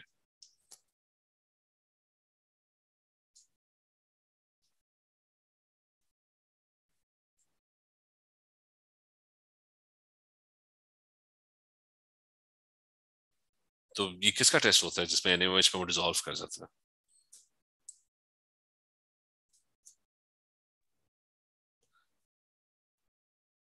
वो कैटाइंस का टेस्ट है ना। एल्यूमिनियम का कैटाइन होता है व्हिच इज़ जो व्हाइट प्रेसिपिटेट फॉर्म करता है and it's soluble in excess magnesium Na तो प्रेसिपिटेट बनाता ही नहीं है, क्योंकि Na के सारे कंपाउंड सॉल्युबल हैं। मैग्नीशियम प्रेसिपिटेट बनाता है दैट्स इनसॉल्युबल अच्छा एएलयू इसका वैसे ना एक वो कोई चेक कर ले कि मार्किंग स्कीम साथ ना खोल ले। कोई हम गलत ना करते हैं अच्छा in which list are all these compound soluble in water तो कौन सी लिस्ट है all the compound are soluble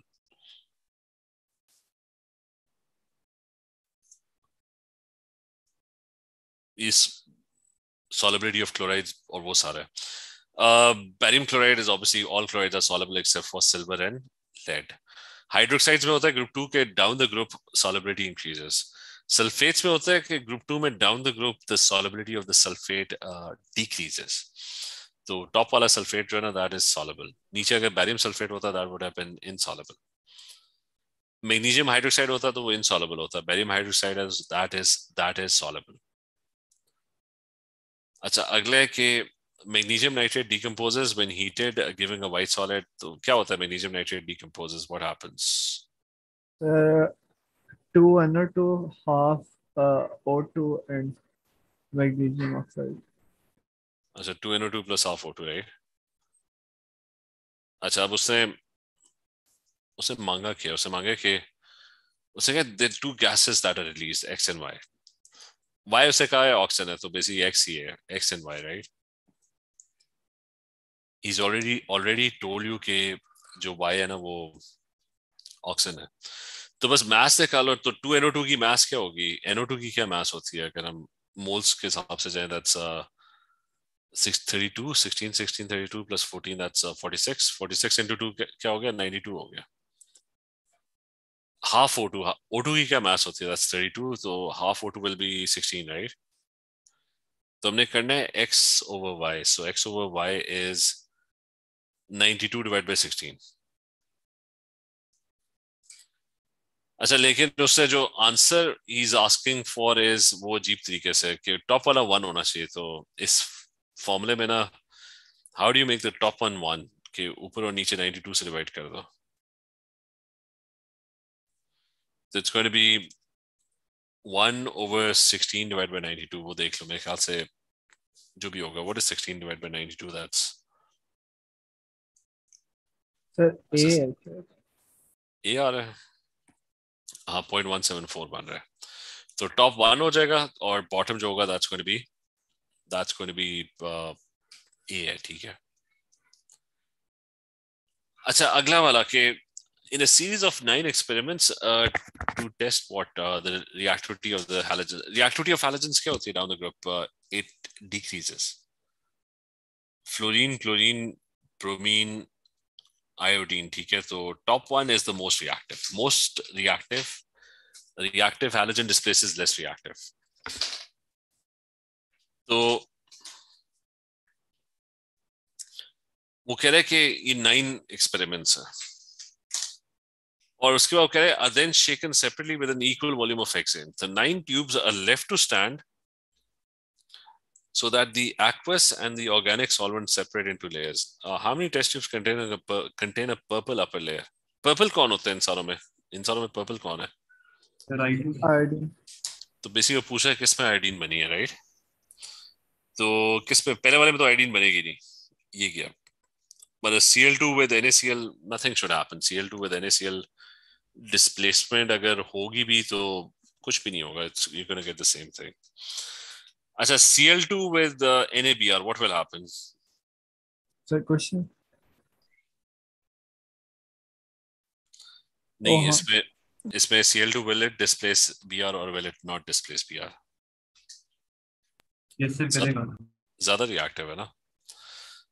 तो वो करेगा डिस्प्लेस और क्या हो जाएगा? It's going to form NaCl and and Br2 right तो इस वाले में Br2 is going to form अच्छा उससे अगले वाले में Cl chlorine will also displace iodine तो इस वाले केस में क्या होगा? Iodine is going to form ठीक है? तो एक पर्पल तो मिल गया। अच्छा ब्रोमीन की बारी आई। Bromine with NaCl can't displace nothing will happen in this case अच्छा ब्रोमीन विद NaBr uh, उसके तो कुछ भी नहीं होगा। अच्छा bromine is more reactive than iodine तो obviously iodine is going to get displace तो इसमें भी आयोडीन फॉर्म होगा। अच्छा अब आयोडीन वाला iodine is the least reactive तो आयोडीन जो है ना, वो किसी को डिस्प्लेस नहीं करेगा। तो आयोडीन विद NaCl तो क्या होगा? Nothing will happen iodine will not react तो इसका क्या मतलब है? आयोडीन तो फिर भी पड़ा होगा ना बीच में। अच्छा iodine with sodium bromide, again, no reaction. Iodine is not going to displace. तो इसका मतलब है iodine is still present in the test tube. उसे कुछ हुआ ही नहीं। अच्छा iodine with sodium iodide again you've got iodine in the test tube तो कितनी test tubes में iodine पड़ा हुआ है that's five इसमें इसमें इसमें और इसमें और इसमें ठीक है clear सर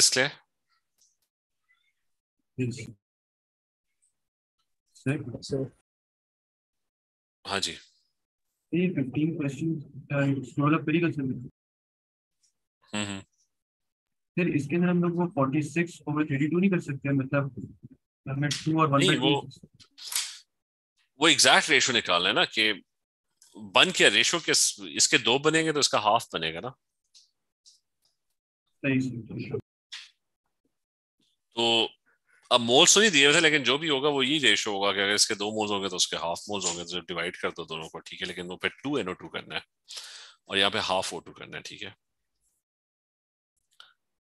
अच्छा अगला वाला नेक्स्ट वन के G is a compound sodium chlorine and oxygen it contains 45.1 percent by mass of oxygen G is prepared by reacting ये वही रिएक्शन है। क्लोरीन और एनिवेज का क्या रिएक्शन होता है? दो रिएक्शन होते हैं। या तो वो हॉट एन होगा। हॉट एन होगा तो क्या बनेगा? It's can form N plus O three plus H two अच्छा so we just have to figure out is it hot anyways और नॉट तो ऑक्सीजन की मास कितनी दी हुई है सका कि the compound contains 45.1 percent by mass of oxygen तो ये देख लो इसका क्या मास बन रहा है? 16 इनटू 3 क्या हो गया? That's 48 divide by 23 plus 35.5 plus 48 मुझे वैसे शक्ल से लग रहा है कि यही है।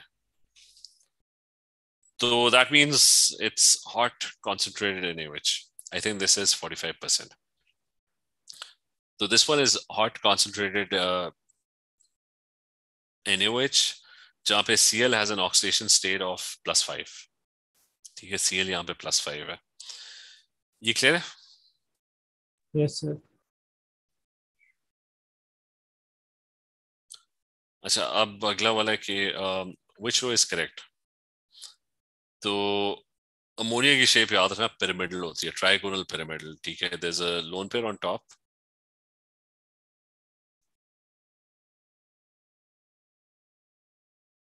and that's pyramidal ammonium ion क्या होगा? दैट्स टेट्राहेड्रल क्योंकि वो ऊपर ना एच आके उसके साथ अटैच हो जाएगा, ठीक है?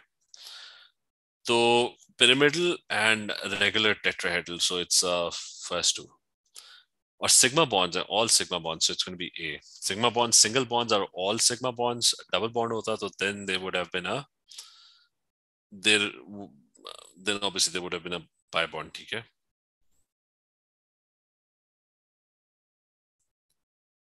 अच्छा अब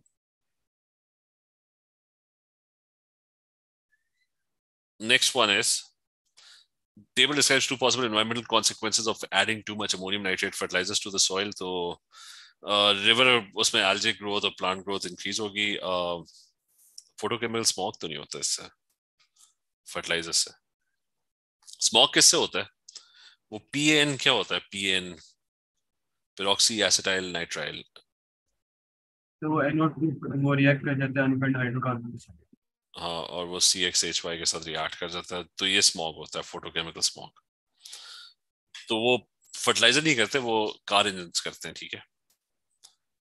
अच्छा नेक्स्ट वन ऑर्गेनिक शुरू हो गया hex two ene can be made by the reaction shown तो मैंने देर सम सीक्वेंस गिवन हुए है which statement about this reaction is correct? कौन सी statement correct है इसमें? वो कह रहा है, this is behaving as a base. Is ये जो चीज़ है इसने क्या किया?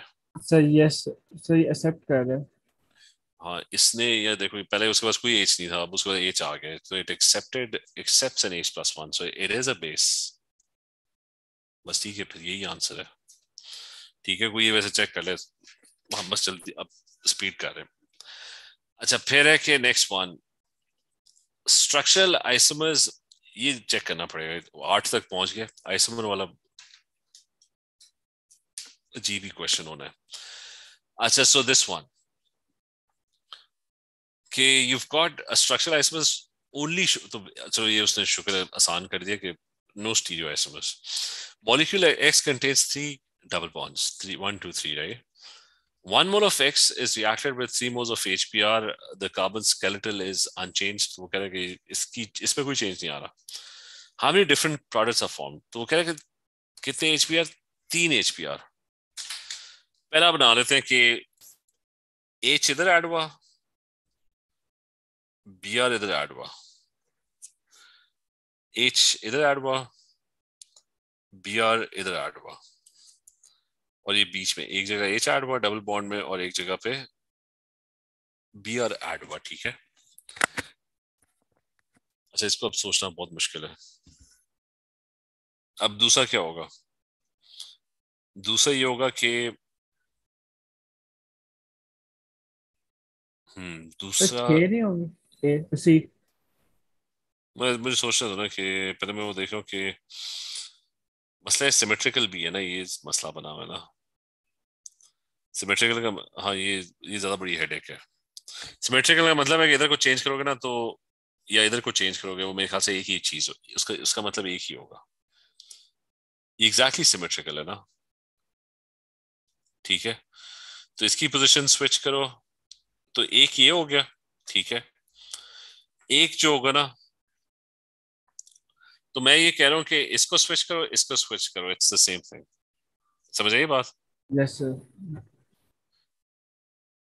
सर ए लग रहा है मुझे। मुझे भी ये लगा ये इसको सोचना थोड़ा, क्योंकि इसको ड्रॉ करना तो और भी पूरा पेज चाहिए उसके लिए। लेकिन क्योंकि सिमेट्रिकल है ना तो और तो उसने बीच में का ही नहीं है। तो एक ये हो गया, दोनों बियर्स इस साइड पे मुझे था दोनों बियर्स अगर उस साइड पे होंगे वुड इट बी डिफरेंट हाँ वो डिफरेंट होगा आई गेस अच्छा एक ये कि अच्छा नंबरिंग कर लेते हैं। बी आर किस पे अभी? ये पहला है तो ये तीसरे पे है राइट ये बियर कहाँ पे? हाँ इससे क्लियर हो जाएगा नंबरिंग से क्लियर हो जाएगा। अच्छा जी किस पे? This is on the this is on the fourth one right मतलब इधर से। अच्छा इधर से फोर्थ थर्ड है। और इधर से फोर्थ है। तो वन ऑफ़ देम इज़ के the B R is on the third one and there the B R is on the fourth one ठीक है? अदर ऑप्शन इज़ कि दोनों जगहों पे बियर फोर्थ हाँ तो एक ऑप्शन हो गया कि इधर बियर थर्ड पे और उधर बियर तो मैं इसको इकट्ठा ग्रुप करके लिख लेता हूँ। वन ऑप्शन इज़ कि B R is on third one the other one is on the fourth one right इस पे हम बाद में आते हैं। अच्छा द अदर ऑप्शन इज़ कि यहाँ पे बियर जो है ना इधर लगाओ। तो B R is on the फिर फोर्थ वन आ जाएगा, यहाँ से वन टू थ्री और मतलब यहाँ से भी one two three fourth one आ जाएगा, ठीक है? तो फोर्थ पे होगा और इधर हम इसको फोर्थ पे ही रखते हैं ठीक है? That's the second option third क्या होगा फिर? थर्ड ये होगा कि दोनों थर्ड पे हो जाए।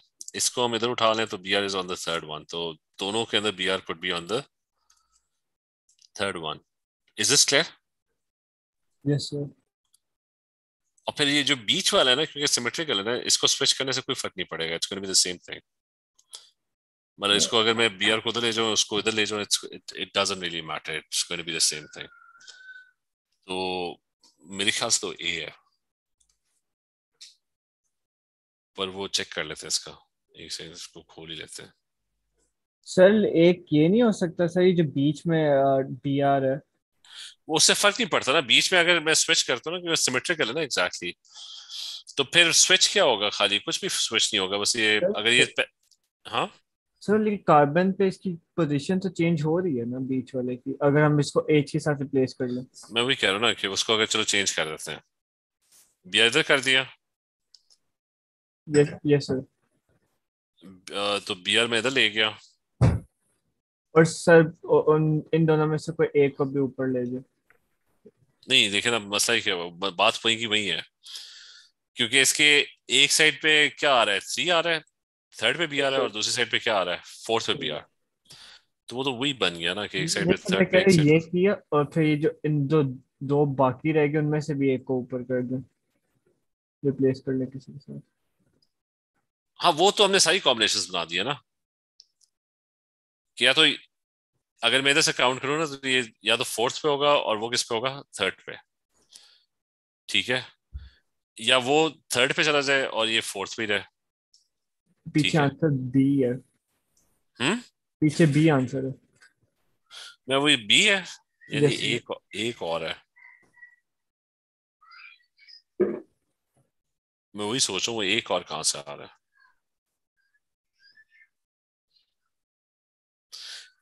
इसके तो वही कॉम्बिनेशन बन रहे हैं ना कि थर्ड पे फोर्थ पे। है ये किस पे हो सकता है? थर्ड पे या फिर फोर्थ वाले पे हो सकता है रिंग में ठीक है? तो उसका तो वही कॉम्बिनेशन या तो दोनों थर्ड पे होंगे या दोनों फोर्थ पे होंगे या फिर एक थर्ड पे होगा और एक फोर्थ पे होगा दैट्स इट हाँ अब इसमें ऑप्शन कहाँ पे निकलेगा? ऑप्शन निकलेगा हाँ इस अच्छा इसको तो सोचना बहुत मुश्किल है। अच्छा इसको, इसका ऑप्शन निकलेगा आई गेस कि जब एक थर्ड पे होगा ना, एक फोर्थ पे होगा। हाँ तब क्योंकि सिमेट्रिकल में दोनों अगर फोर्थ पे होंगे ना तो इट डजेंट रियली मैटर कि बी आर कहाँ पे हो बीच में। इस पे मैटर करेगा, क्योंकि इधर बी आर जो है ना, वो थर्ड वाले के ज़्यादा करीब आ गया। और वो वाला बी आर जो है, वो किस पे? फोर्थ पे है ना तो ये बी आर उससे दूर चला गया। या इसकी दूसरी कॉम्बिनेशन होगी, अगर ये स्विच कर जाते हैं ना मतलब ये बी आर इस साइड पे आ जाता है तो बी आर फिर फोर्थ वाले के करीब आ जाता है और एच थर्ड वाले के करीब आ जाता है। तो वो जो बीच वाला है ना, वो इस वाली कॉम्बिनेशन को अफेक्ट कर सकता है। समझ आइए ये वाली जो है ना, कि दोनों बियर्स ये वाला भी फोर्थ पे और ये वाला भी फोर्थ पे है ना तो उससे बियर लेफ़्ट पे हो या राइट पे हो कोई फ़र्क नहीं पड़ेगा।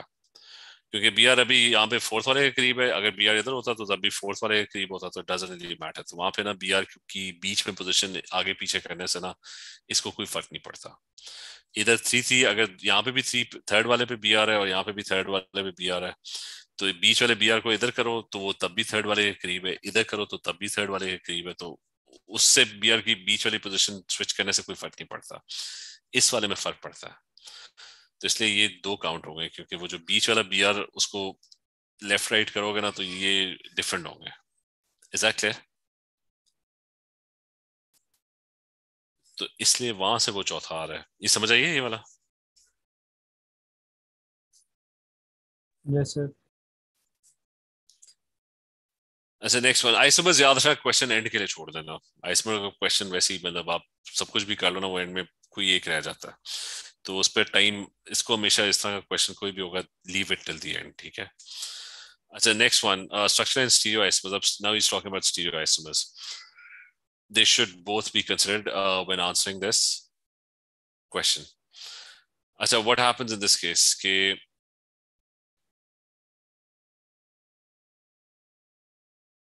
अच्छा एक से मैं देख रहा अच्छा, a colorless liquid C5H11Cl exists as a mixture of two optical isomers. When heated with NaOH and ethanol, a mixture of only two alkenes are formed. NaOH ethanolic क्या करता है? Alkene में convert कर देता है halogenoalkane. What could be the colorless liquid B? तो वो कह रहा है कि पहली चीज़ वो कह रहे हैं कि it exists as an as a mixture of two optical isomers. So first thing is इंसानों को जरा draw करो ना कि do they ये पहला वाला does it exist as two optical isomers? CHCl है ना CH and Cl and then there are two eth ethyl branches, CH2, CH3. Or ये भी CH2. And so that's the that's the first one. मतलब C, HCl. मतलब C के साथ H और Cl है और फिर दो ethyl की branches हैं brackets में. So this is not chiral. तो ये तो निकल गया. The first one is out of the question. ठीक है, that's not the one. Second one पे आ जाओ. is this chiral ये chiral लग रहा है कितने कार्बन है that's uh, one two three four one two three four और फिर एक one two three four और फिर fifth CH3 इस वाले पे Cl लगा हुआ है और बाकी सारे H's हैं अच्छा now this one is definitely chiral अच्छा वो chiral है अब अगर वो chiral है तो अब अगली कहानी के ethanolic NaOH. So it will turn into an alkene. So how will it turn into an alkene? Okay, the Cl is going to go away and you'll get a double bond either on the right side or on the left side. ठीक है इन दो positions पे मतलब दो अलग अलग molecules बनेंगे. You'll you'll get an option of two double bonds. तो वो कह रहे कि it forms a mixture of only two alkenes. So will it form a mixture of two alkenes or more than two alkenes? क्या होगा इसका? Sir दो ही बनेंगे. सर दो बनेंगे. दो नहीं बनेंगे गौर से देखो, तीन बनेंगे।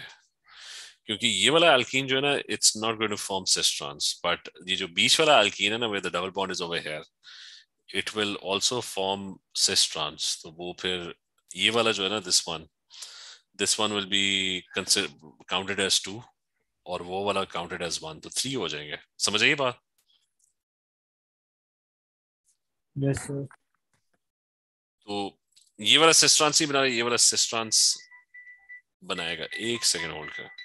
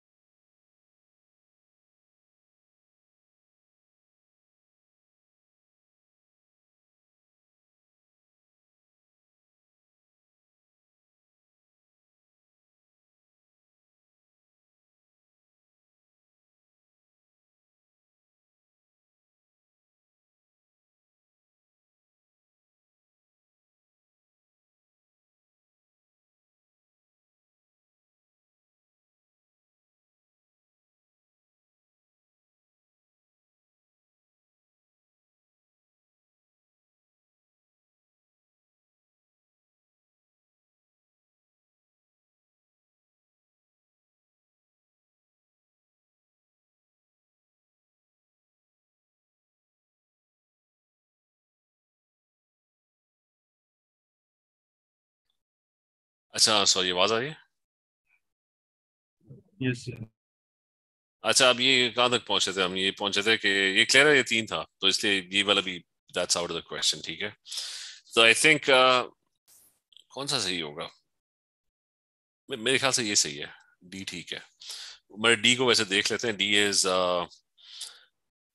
इस कार्बन से शुरू कर लेते हैं कार्बन है H and then there is two methyl branches CH3 CH3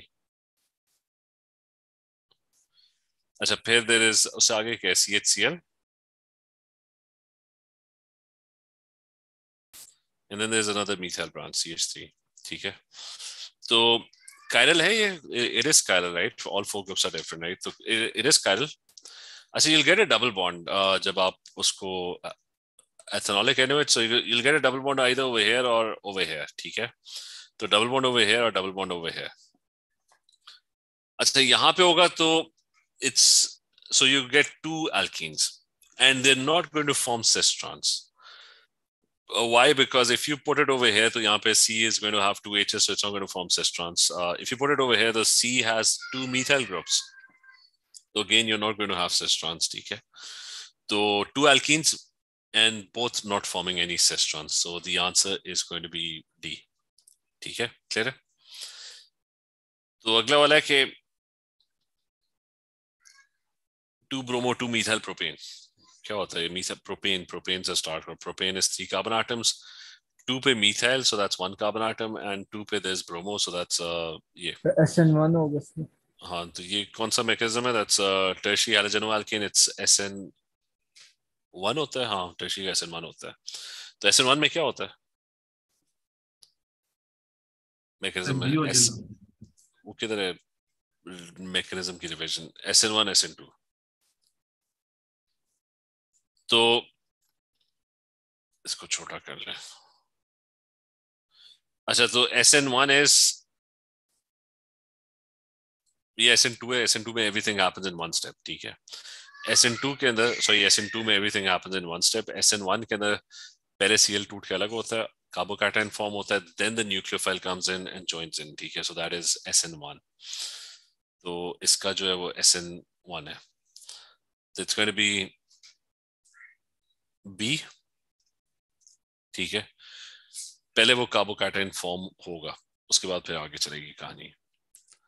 अच्छा next one is an organic compound Q is treated with PCl uh, penta PCl5 fumes of hydrogen chloride are evolved when Q is warmed with potassium dichromate 6 the solution turns green तो ऑक्साइज भी हो रहा है और PC इसके साथ alcohol react करते हैं PCl5 ठीक है दिस इज़ ये अल्कोहल्स का रिएक्शन है कि कहाँ है chart Okay, alcohols you can react it with PCl3, PCl5, it will turn into a halogen halogenoalkane. तो alcohols react तो aldehyde और carboxylic acids uh, निकाल दो बाहर तो you got these two options ठीक है and then he says uh, when Q is warmed with potassium dichromate 6 solution turns green. तो दोनों alcohols oxidized नहीं होंगे। इनमें से कौन सा alcohol होगा? Which is that alcohol that does not get oxidized? Sir secondary वाला? उन्हीं टर्शरी होता है जो ऑक्साइज नहीं होता। प्राइमरी जो होता है वो तो एल्डिहाइड और कार्बोक्सिलिक एसिड बना देता है। सेकेंडरी क्या बनाता है? कीटोन टर्शरी ऑक्साइड नहीं होता। ये वाला टर्शरी है डी डी गलत है। मतलब आंसर आंसर सी होगा।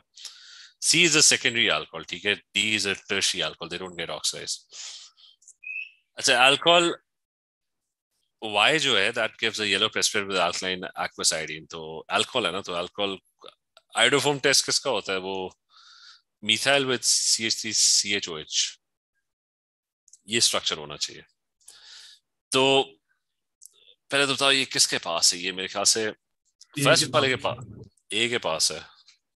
नहीं सी के पास भी है ना बी के पास बी के पास कहा नहीं नहीं है बी के पास सी एच ओ एच नहीं है ना एच भी होना चाहिए और इसके पास भी नहीं है बस सी एस टी के साथ it should be C H O H that's not there तो it's going to be either A और सी तो बाकी क्या उससे पूछा था कि can be oxidise to give a mixture of products including substance G G gives the red brown Fehling के साथ जी के है फेलिंग के साथ कौन रिएक्ट करता है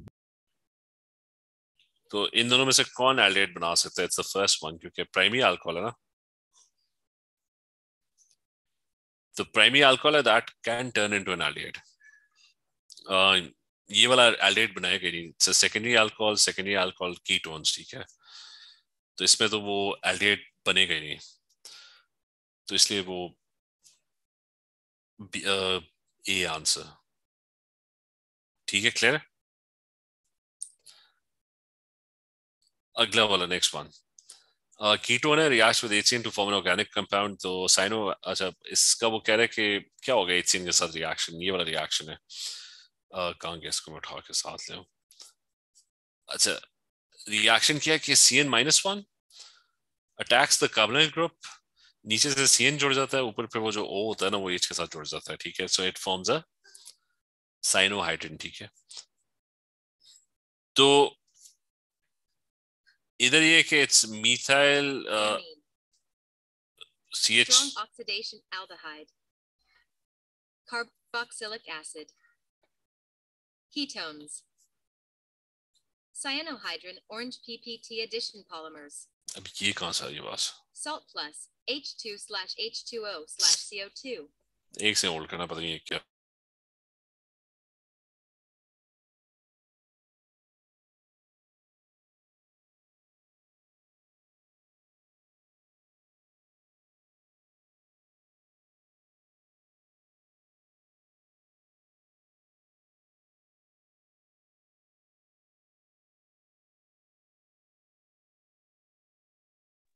अच्छा एक सेकेंड होल्ड करो। पता नहीं क्या मैंने क्लिक कर दिया था।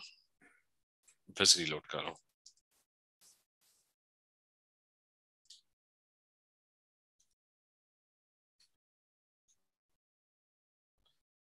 अच्छा इस क्वेश्चन पे, वो मैं फिर से खोल लूँ।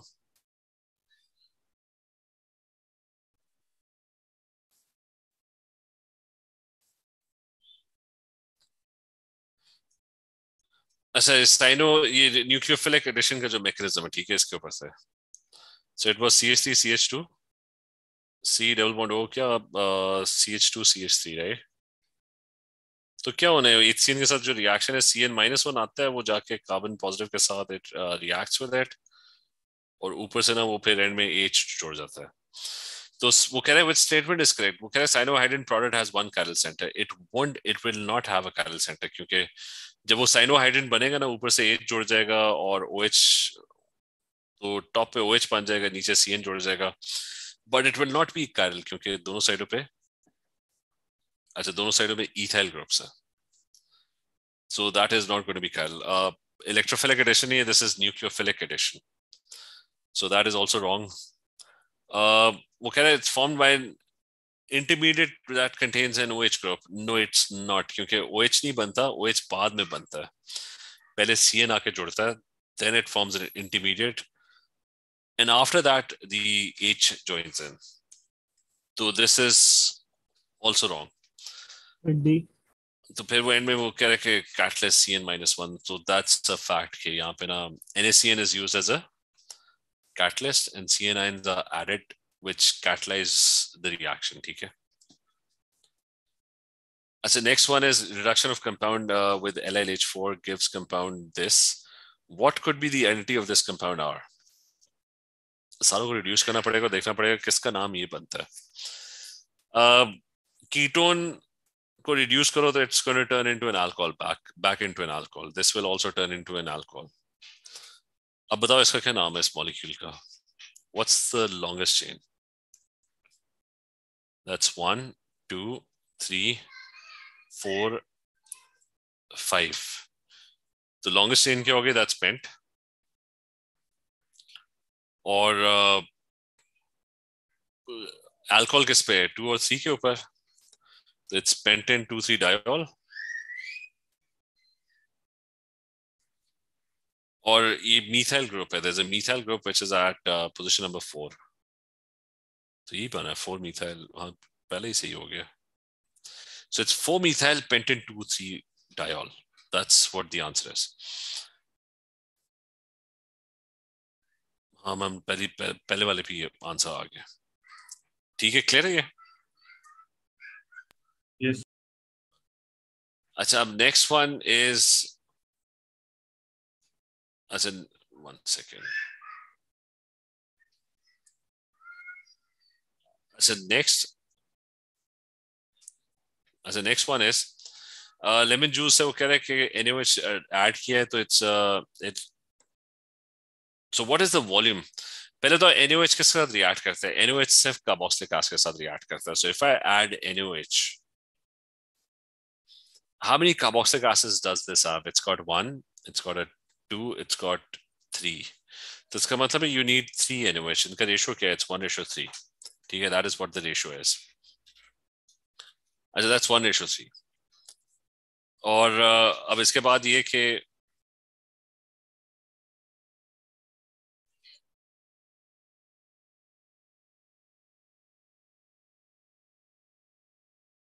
अच्छा it's one one ratio three तो सिट्रिक एसिड के कितने मोल्स हैं? Point zero five moles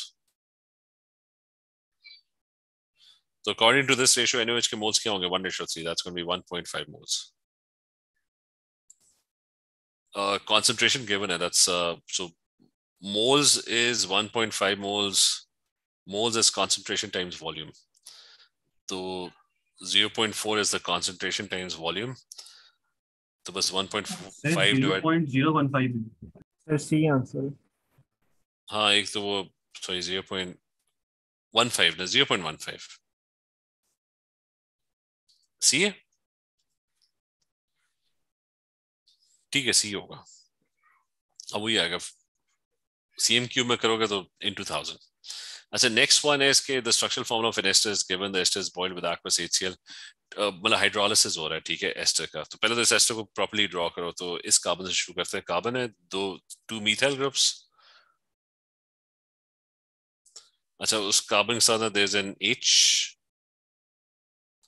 और फिर ओ है और फिर सी ओ है C double bond O then there are CH2s, two CH2, CH2, CH2. और फिर एंड में दोबारा CH3 है। तो हाइड्रोलिसिस होगा तो इट विल ब्रेक डाउन ठीक है? So it will form butanoic acid तो ब्यूटेनोइक एसिड और ये क्या होगा? This this is going to be propan two ol होगा। ओ OH यहाँ पे बनेगा तो it's on the second one ठीक है? It's on the second one it's going to be B ये क्लियर है यस अच्छा उसके बाद ये कि थर्टियथ पे आ जाते हैं। सिक्सटीन हंड्रेड पे एब्जॉर्प्शन है क्या चीज़ है ये? सी डबल बॉन्ड अच्छा सीरियल बॉन्ड वो वो वैसे गिवन होगा। अच्छा इधर भी 1600 पे एब्जॉर्प्शन है this is also serial bond O ये जो वाइड एब्जॉर्प्शन आती है 3000 में ये किसकी आती है? वो एच की से। कौन से वाले OH की? Sir carboxylic? एसिड नहीं कार्बोक्सिलिक एसिड वाले OH ठीक है OH that belongs to alcohol की आती है 3200 से आगे जाके वो ये ये अल्कोहल है। ये सिर्फ़ अल्कोहल है। अच्छा इधर सीर नो सीरियल बॉन्ड हो ठीक है। तो वो कह रहे हैं इनको जरा आइडेंटिफाई करो तो पहले देख लेते हैं प्रोपेनोइक एसिड। प्रोपेनोइक एसिड तो फिर ये बीच वाला होगा वही होगा। दैट्स इट तो spectrum number two is propanoic acid. अच्छा फिर कीटोन कौन सा होगा? कीटोन जो होगा ना, वो ये पहला वाला होगा, जो प्रोपोनोन उससे दिया हुआ दैट्स ओनली सीरियल बॉन्ड हो, ठीक है? दैट्स योर कीटोन तो वो हो गया स्पेक्ट्रम नंबर वन प्रोपोनोन हो गया। तो ये आखिरी जो है दैट्स एन अल्कोहल ठीक है दैट्स ऑब्वियसली एन अल्कोहल तो दैट्स प्रोपेन तो बी इज द आंसर ये क्लियर है यस अच्छा अब नेक्स्ट इज अच्छा which change can be used to measure the rate of a chemical reaction a decrease in the concentration of a reactant rate क्या होता है any change with respect to time कोई भी चीज change हो रही है ना उसको आप टाइम के साथ जल्दी होगी कलर चेंज मैथ चेंज कुछ भी चेंज ठीक है? तो कॉन्सेंट्रेशन अगर रिएक्टेंट की चेंज हो रही है तो by unit time तो that would uh, you can measure the speed of the reaction right? The rate of of a product अगर ब्लू कलर बड़ी जल्दी बन रहा है तो ठीक है वो तेज है रिएक्शन अगर देर से बन रहा है तो रिएक्शन स्लो राइट तो इंक्रीज इन टोटल तीनों ठीक तीनों ठीक है। गैस बन रही है तो गैस अगर बहुत तेज़ी से बन रही है उसका वॉल्यूम चेंज हो रहा है तो उसका मतलब रिएक्शन फास्ट है अगर बहुत स्लोली हो रहा है तो रिएक्शन स्लो है तो तीनों ठीक है तो it's any change that could be measured with respect to time ठीक है अच्छा reacts with steam to produce uh, this this equation is given a system containing all four substances is at equilibrium which changes will decrease the mass of Fe present at equilibrium तो Fe की mass कम करनी है। Decrease करनी है ना yes basically I want to shift it forward steam add करेंगे तो क्या होगा? Way would the equilibrium shift. So इससे forward जाएगा. तो ठीक है फॉरवर्ड शिफ्ट होगा। प्रेशर इंक्रीज करोगे तो किस साइड पे शिफ्ट होना चाहिए? से. लेस गैस मोल्स राइट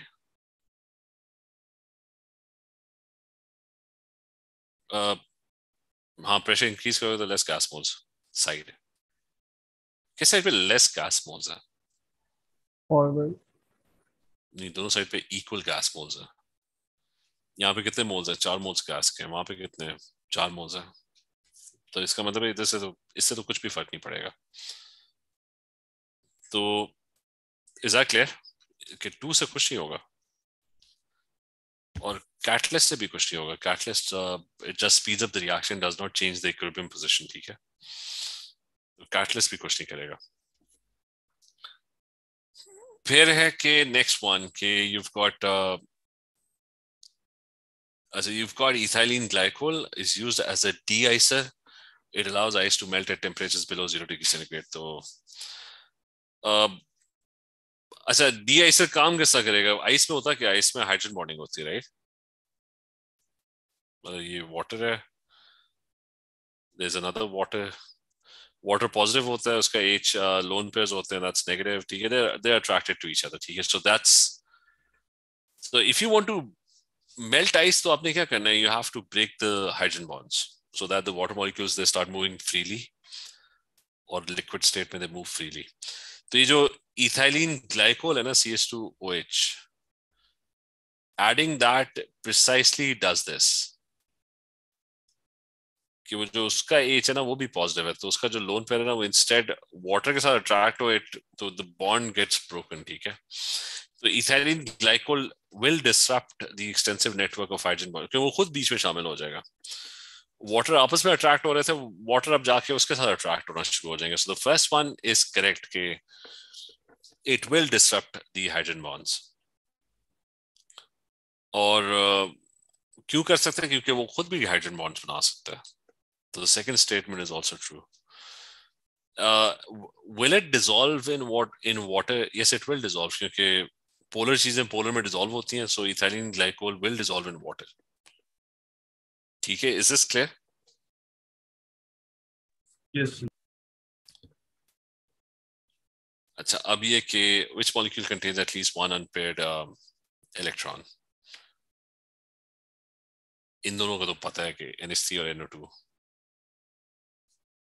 तीनों एटलीस्ट वन अनपेड मतलब ऑक्सीजन के पास होगा। तीनों के पास होगा ऑक्सीजन के पास लोन पेस होते हैं। तो बड़ी शो कि इसका चेक कर लेते हैं इसका इसकी मतलब एमएस खुली हुई है कि नहीं खुली हुई इसका खुली हुई है किसी ने?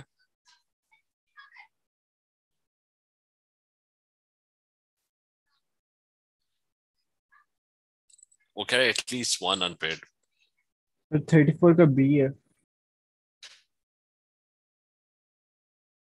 नहीं थर्टी फोर का बी नहीं हो सकता। B B for ball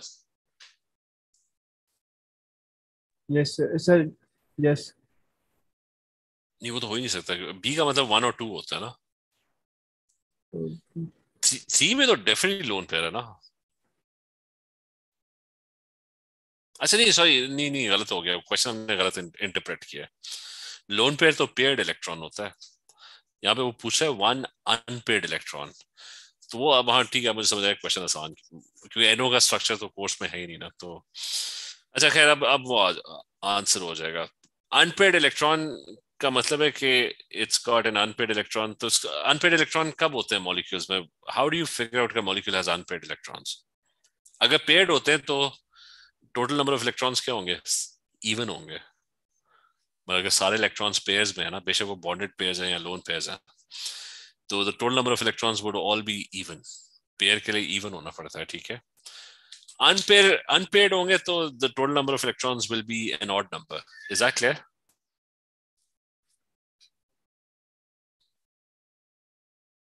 तो NH3 में ना, N के पास सेवन इलेक्ट्रॉन्स होते हैं और H के पास वन होता है और तीन H है। तो टोटल इलेक्ट्रॉन्स कितने हो गए? टेन टेन इलेक्ट्रॉन्स होंगे तो they would all be paired ठीक है? तो हमें अब उसकी बॉन्डिंग में नहीं जाना। NO2 में क्या होता है? NO2 में uh, N के पास कितने होते हैं? सेवन इलेक्ट्रॉन्स और ऑक्सीजन के पास होते हैं एट और दो ऑक्सीजन है। तो ये ऑड आ रहा है। जब ऑड नंबर ऑफ़ इलेक्ट्रॉन्स होंगे तो definitely one of them is not going to be paired ठीक है? और उसमें पहले वाले में भी सेवन है और ऑक्सीजन के पास एट इलेक्ट्रॉन्स है that's fifteen so that's again odd इसलिए one and two are correct unpaired होंगे जब when you've got an odd number of electrons. So which element forms a chloride in which both covalent bonding and coordinate bonding are present? Aluminium तो करते ही करता है और मेरे ख्याल से एल्यूमिनियम ही करता है खाली उसी का हमने पढ़ा हुआ है कि वो AlCl3 का जो डाइमर बनता है उसमें क्या होता है कि Al का आउटर शेल कंप्लीट नहीं हो रहा होता तो वो Cl से लोन पे बोरो कर लेता है ठीक है so so that's it silicon नहीं करता क्योंकि सिलिकॉन के बॉन्ड्स पूरे हो जाते हैं doesn't have any electrons left अच्छा which statement where calcium oxide are correct? It can be reduced by heating with magnesium. Uh, magnesium ज़्यादा रिएक्टिव है या कैल्शियम ज़्यादा रिएक्टिव है? डाउन द ग्रुप क्या होता है मेटल्स में? तो मैग्नीशियम उसको कुछ भी नहीं कर सकता डिस्प्लेस नहीं कर सकता। तो पहला तो गलत है। Down the group reactivity बढ़ती है. It is produced when calcium nitrate is heated. That's true. Calcium oxide और NO2 और O2 बनता है. Uh, it reacts with cold water. Yes, it does. क्योंकि calcium oxide जो है ना वो थोड़ा बहुत पानी में डिजोल्व होता है और क्या बना देता है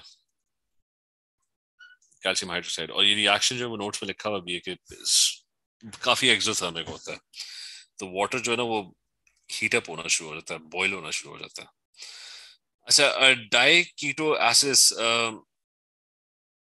is a compound with two ketone groups and one carboxylic acid group which statement of the reactions of limonene and this a correct correct जब हाइड्रोजन साथ रिएक्ट करते हैं तो सेम कंपाउंड बनता है। यस सर वो ठीक है क्योंकि डबल बॉन्ड खत्म हो जाएगा वो एच ऐड हो जाएगा। डबल बॉन्ड खत्म हो जाएगा तो वो दोनों एक जैसे ही लगेंगे बिल्कुल। कंप्लीटली सैचुरेटेड हो जाएँगे बट डबल बॉन्ड गायब हो गए तो दोनों पे एक जैसे होंगे An excess of hot concentrated KMNO4 reacts with limonene with uh, to form hot concentrated KMNO4 क्या होगा डबल बॉन्ड्स टूट जाएँगे तो when you break the double bond तो ये कार्बन और ये कार्बन और ये कार्बन और ये कार्बन अच्छा when you break the double bond बीच में डबल बॉन्ड जो है वो वो चला गया ये बीच में से डबल बॉन्ड गया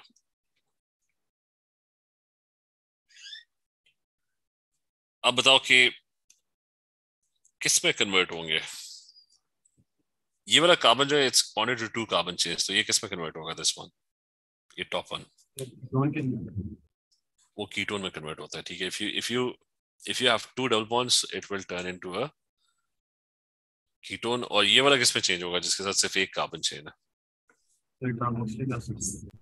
ठीक है that will turn into double bond OH और इधर भी यही होगा कि this will turn into a ketone and this will ये क्या होगा जिसका कोई कार्बन चेन ही नहीं है, दो एचेस होंगे। तो that will turn into plus water ठीक है। तो उससे क्या कि, वो खैर two different diketo acids are formed तो ये तो गलत हो गया कि एक तो कार्बन डाइऑक्साइड बनी है और एक मॉलिक्यूल तो ये बना है। तो you not getting two different diketo acids और प्रॉब्ली वहाँ पे भी यही होगा कि you not you not going to get मतलब पहले वाले में नहीं आ रहा तो बस ठीक है, उससे तो दोनों के लिए लिखा हुआ था ना। अच्छा reaction so the second one is wrong The reaction of this with the excess of Br2 produces positional isomers with the same number of chiral carbon atoms. तो ब्रोमीन के साथ रिएक्शन है वो कह रहा है कि same number of chiral carbon atoms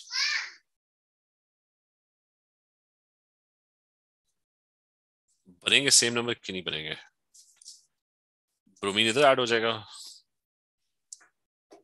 इधर ऐड हो जाएगा ब्रोमीन इधर ऐड हो जाएगा और इधर ऐड हो जाएगा। अच्छा इधर और इधर। और अ, इधर और इधर ब्रोमीन ऐड हो जाएगा। And double bonds would go away ठीक है? तो this will be chiral this one this one would be chiral तो ये the top two are both chiral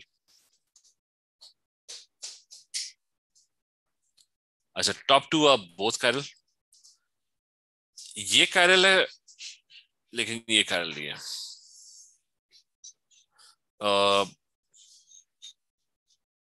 और इधर क्या है कि ये वाला कैरल है। But this one is not chiral तो वो कह this same number of chiral carbon atoms तो आई थिंक ये सही है कि नहीं सही? है?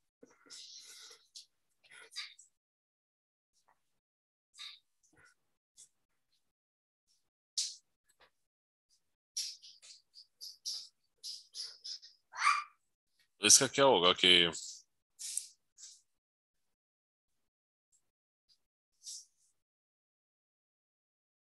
अच्छा हमने ना सेकंड ये थर्ड वन मुझे लग रहा है कि सही है इसका आंसर किसी ने देखा ये सेकंड वाला हमने गलत किया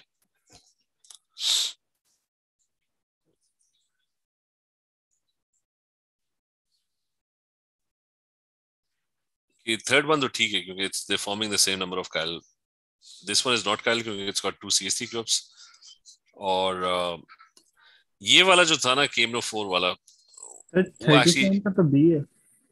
हाँ? बी है थर्टी सेवन का।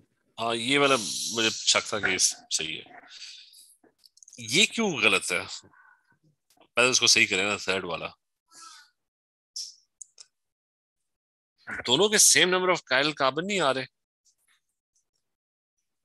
ये कायरल है ब्रोमीन ऐड हुआ है। ब्रोमीन ऐड कर रहा है ना वो हाँ। ये भी कायरल है क्योंकि चारों ग्रुप्स डिफरेंट है ये भी कायरल है दिस तो ये दोनों तो टॉप वाला तो बिल्कुल सेम है। अच्छा बॉटम में नहीं होंगे हाँ। ना सर इस वाले में बी आर में क्या कहते हैं दो हाइड्रोजन होंगे। किस वाले बियर में? से जो लेमोनिन है इसमें जो एंड में जो बी आर है इसके साथ दो हाइड्रोजन हो जाएँगे। हाँ तो ये कायरल नहीं है ना? हाँ और उसमें चार है इसमें क्या कहते हैं तीन हो जाएँगे। उस, उसमें चार नहीं है उसमें उसमें भी ये वाला कायरल नहीं है। क्योंकि ये दोनों ग्रुप्स डिफरेंट है ना। तो कंफर्म है तीसरा क्योंकि मुझे तो सेम लग रहा है, बिल्कुल। हाँ नहीं सेम नहीं है। ठीक है, वो मुझे एक मिल गया। हाँ सेम नहीं है। यहाँ तक ठीक है, जो हमने किया वो ठीक है। वो एक था कि इसके अंदर एक एक्स्ट्रा कैरल है। वो ये वाला कार्बन है। जिसका ब्रोमीन से कोई ताल्लुक नहीं था। इसके अंदर एक एक्स्ट्रा कैरल है। समझ आइए जैसे तो वो इसलिए सेम नंबर ऑफ़ कैरल नहीं है। मतलब वो ब्रोमीन वाले कैरल तो बराबर है। पर ये इसके अंदर ना there is an extra extra अच्छा इसमें इज़ एन एक्स्ट्रा कैरल ठीक है? तो इसलिए ये गलत है। और ये वाला ठीक इसलिए क्योंकि वो कह रहा था कि ये दोनों जब रिएक्ट करते हैं different diketo acids diketo acids थे कि कीटोन और कार्बोक्सिलिक एसिड दोनों उसमें। तो मुझे लगा था कि वो मैं समझ रहा था कि वो कह रहे हैं कि स्प्लिट करके ना दो डिफरेंट डाइकीटो एसिड्स बनाते हैं। क्योंकि उसने लिखा हुआ था डिफरेंट डाइकीटो एसिड्स ना लेकिन वो अलग अलग बात कर रहा था कि ये एक डिफरेंट डाइकीटो एसिड बना रहा और ये एक डिफरेंट डाइकीटो एसिड बना रहा वो ये कहने की कोशिश कर रहा था। तो इसके अंदर कीटोन बन रहा है कार्बोक्सिलिक एसिड बन रहा है। तो मतलब डाइकीटो एसिड बन रहा है, ठीक है? इसके अंदर भी कीटोन बन रहा है, इसके अंदर भी कार्बोक्सिलिक एसिड बन रहा है और यहाँ पे एक और कीटोन बन रहा है इस जगह पे ना तो इसका जब ऑक्सीडेशन होगी तो you will get ketone at different position मतलब इसमें कीटोन यहाँ पे बनेगा इसमें कीटोन जो है ना डबल बॉन्ड टूटेगा तो कीटोन इस जगह पे बनेगा तो तो obviously the product formed are going to be different तो इसलिए वो सेकंड भी ट्रू है. ठीक है क्लियर है सेकंड वाला?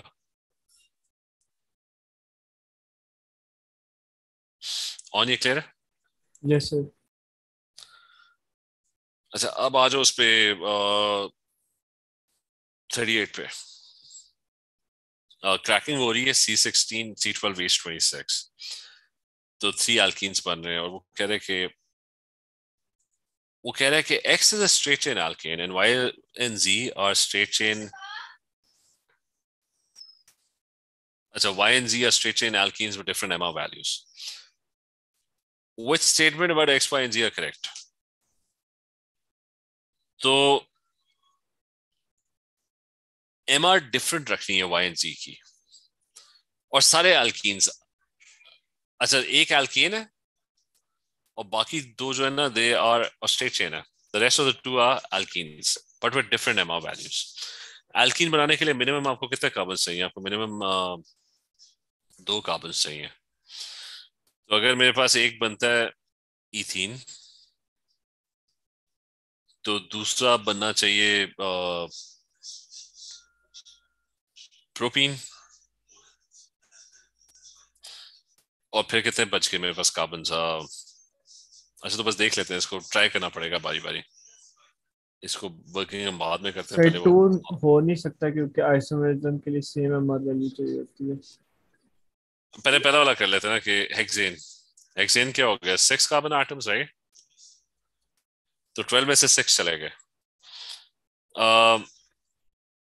तो बाकी दो क्या बचे? ब्यूट वन और इथीन तो ब्यूट में चार होते हैं तो हो जाएगा, ये पूरे बारह हो जाएँगे. इसमें इसमें दो होते हैं कार्बन इसमें चार होते हैं और इसमें छह हैं. तो वो ठीक है, वो C twelve H twenty six ही बनेगा, ठीक है? तो first one is correct second one है कि वो कह रहे हैं कि अगर वो ब्यूटेन है, ठीक है ब्यूटेन हो गया तो चार कार्बन आइटम्स निकल गए, पीछे ट्वेल्व में से कितने बच गए? यू लेफ़्ट विद फोर तो एट कार्बन बच गए ना? ठीक है left with eight carbon atoms अब उससे क्या इस एट कार्बन आइटम्स को ना आपको स्प्लिट करना पड़ेगा दो एल्कीन्स में, और दोनों एल्कीन्स की एमआर वैल्यू डिफरेंट होनी चाहिए। तो अगर उनको डिफरेंट रखना है तो एक में एक एल्कीन में you going to have five carbon atoms the other alkene you going to have three carbon atoms तभी वो मतलब पहला तो हो गया ब्यूटेन ना तो वो और फिर दो एल्कीन्स जिनकी एमआर वैल्यूज़ डिफरेंट हो तो one of them will have five carbon atoms the other one will have uh, three carbon atoms. अब मसला है कि straight chain alkene of three carbon atoms cannot not cis trans. मतलब तीन carbon atom के अंदर आप स्ट्रेस ट्रांस किस तरह लेके आओगे? सर फाइव में बचेगा थ्री में नहीं होगा। हाँ थ्री में नहीं होगा। देखिए उसने कहा था कि then Y and G could both show नहीं बोथ नहीं। फाइव के अंदर हो जाएगा थ्री के अंदर नहीं होगा। समझ आइए बात? तो टू गलत है। ठीक है इस क्लियर यस अच्छा फिर नेक्स्ट वन इज़ कि last one X could be octane वो भी गलत हो गया क्योंकि एट कार्बन एटम्स हो गए ना तो पीछे कितने बचे आपके पास? ट्वेल्व uh, में से चार बचे हैं। तो चार को आप दो डिफरेंट एल्कीन्स में नहीं कन्वर्ट कर सकते क्योंकि फिर आपने अगर उसको दो एल्कीन्स में कन्वर्ट करना है ना ऑफ़ डिफरेंट एमआर तो एक में थ्री कार्बन आइटम्स होंगे तो एक में वन कार्बन आइटम होगा। वन कार्बन आइटम से एल्कीन बनता ही नहीं है। वो सिर्फ़ एल्कीन बनेगा, अगर दो कार्बन आइटम तो दो कार्बन तो वो सेम एम हो जाएगी so you know you don't want that तो तीसरा भी गलत हो गया। अच्छा थर्टी नाइन पे आ जाओ कि which statement were fluoro alkanes are correct पहली गलत है C C L bonds that are readily dissociated C F bond strong होता है, वो इतने आराम से नहीं टूटता, और वो भी टूट सकता है, लेकिन it doesn't break that easily. Uh, they obviously cause ozone depletion uh, and they are relatively inert. इसलिए वो यूज़ होते हैं CFCs as inert solvents ठीक है? तो वो बाकी दो ठीक है। Forty which action of propan one ol with water किसमें वाटर बनता है एज अ प्रोडक्ट डिहाइड्रेशन में वाटर बनता है प्रोडक्ट जब आप अल्कोहल में से ओ OH निकाल देते हो तो you do get water alcohol और carboxylic acid ester बनाते हैं तो that will also form water molecule. That's a condensation reaction. और थर्ड में क्या होगा? थर्ड में भी सब्स्टिट्यूशन होगी। हाँ सब्स्टिट्यूशन होगी। तो ओ OH निकल जाएगा। उसकी जगह बी आर आ जाएगा। तो बी आर का एच रह जाएगा पीछे। तो मेरे ख्याल से वाटर बनना चाहिए। इसका थर्ड का क्या ये तीनों ठीक है कि नहीं? ठीक तीनों। जिससे वाटर बनेगा। उसमें हाँ। मैं बनना चाहिए वैसे तो। मेरे ख्याल से तीनों ठीक होंगे उसका, ए होगा, तीनों का तो ठीक है, ये पेपर कंप्लीट हो गया। इसमें बस याद है रखना कि पहली अटेम्प्ट में ना वो जो हो रहे हो ना क्वेश्चन बहुत सारे क्वेश्चन होंगे। फिफ्टी परसेंट पेपर इस तरह का होगा। ट्वेंटी फाइव परसेंट थोड़ा सा मुश्किल होगा और ट्वेंटी फाइव परसेंट पेपर में ज़्यादा सोचना पड़ेगा। तो टाइम का मेरा नहीं ख्याल इतना बड़ा मसला होना चाहिए, लेकिन एटलीस्ट पहली अटेम्प्ट में ना मुश्किल क्वेश्चंस पे फंस ना जाना पहले जाके जो होते हैं ना आराम आराम से हो रहे हैं, वो सारे तेज़ी से कर लेना, ठीक है? और एंड के लिए टाइम बचाना जो मुश्किल वाले, जो मुश्किल लग रहे हो ना उन पे। तो ऑर्गेनिक पे थोड़ा सा टाइम लगेगा, खासतौर पे ये जो आइसमस वाले क्वेश्चंस हैं इन पे टाइम लगेगा। इस तरह के क्वेश्चंस होंगे बहुत जल्दी होंगे। इनऑर्गेनिक के भी जल्दी होने चाहिए ऑर्गेनिक बस थोड़ा सा टाइम कंज्यूमिंग होगा दैट्स इट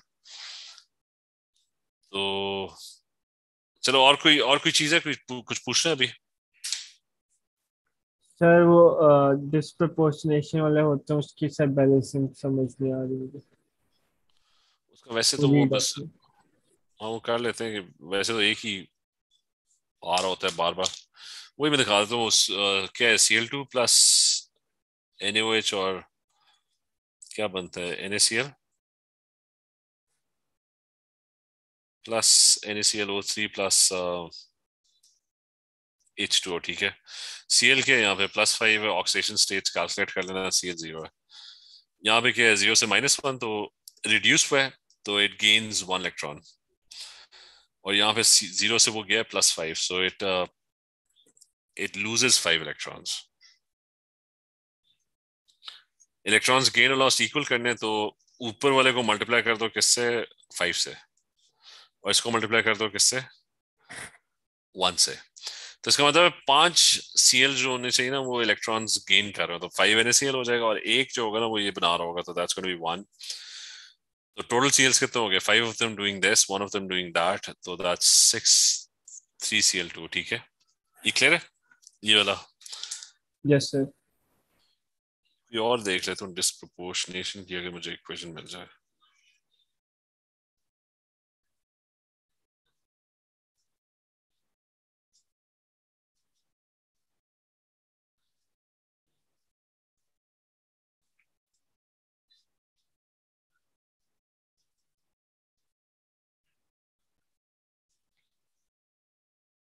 मतलब एक और भी प्रैक्टिस कर लेते हैं कि H three P O two है।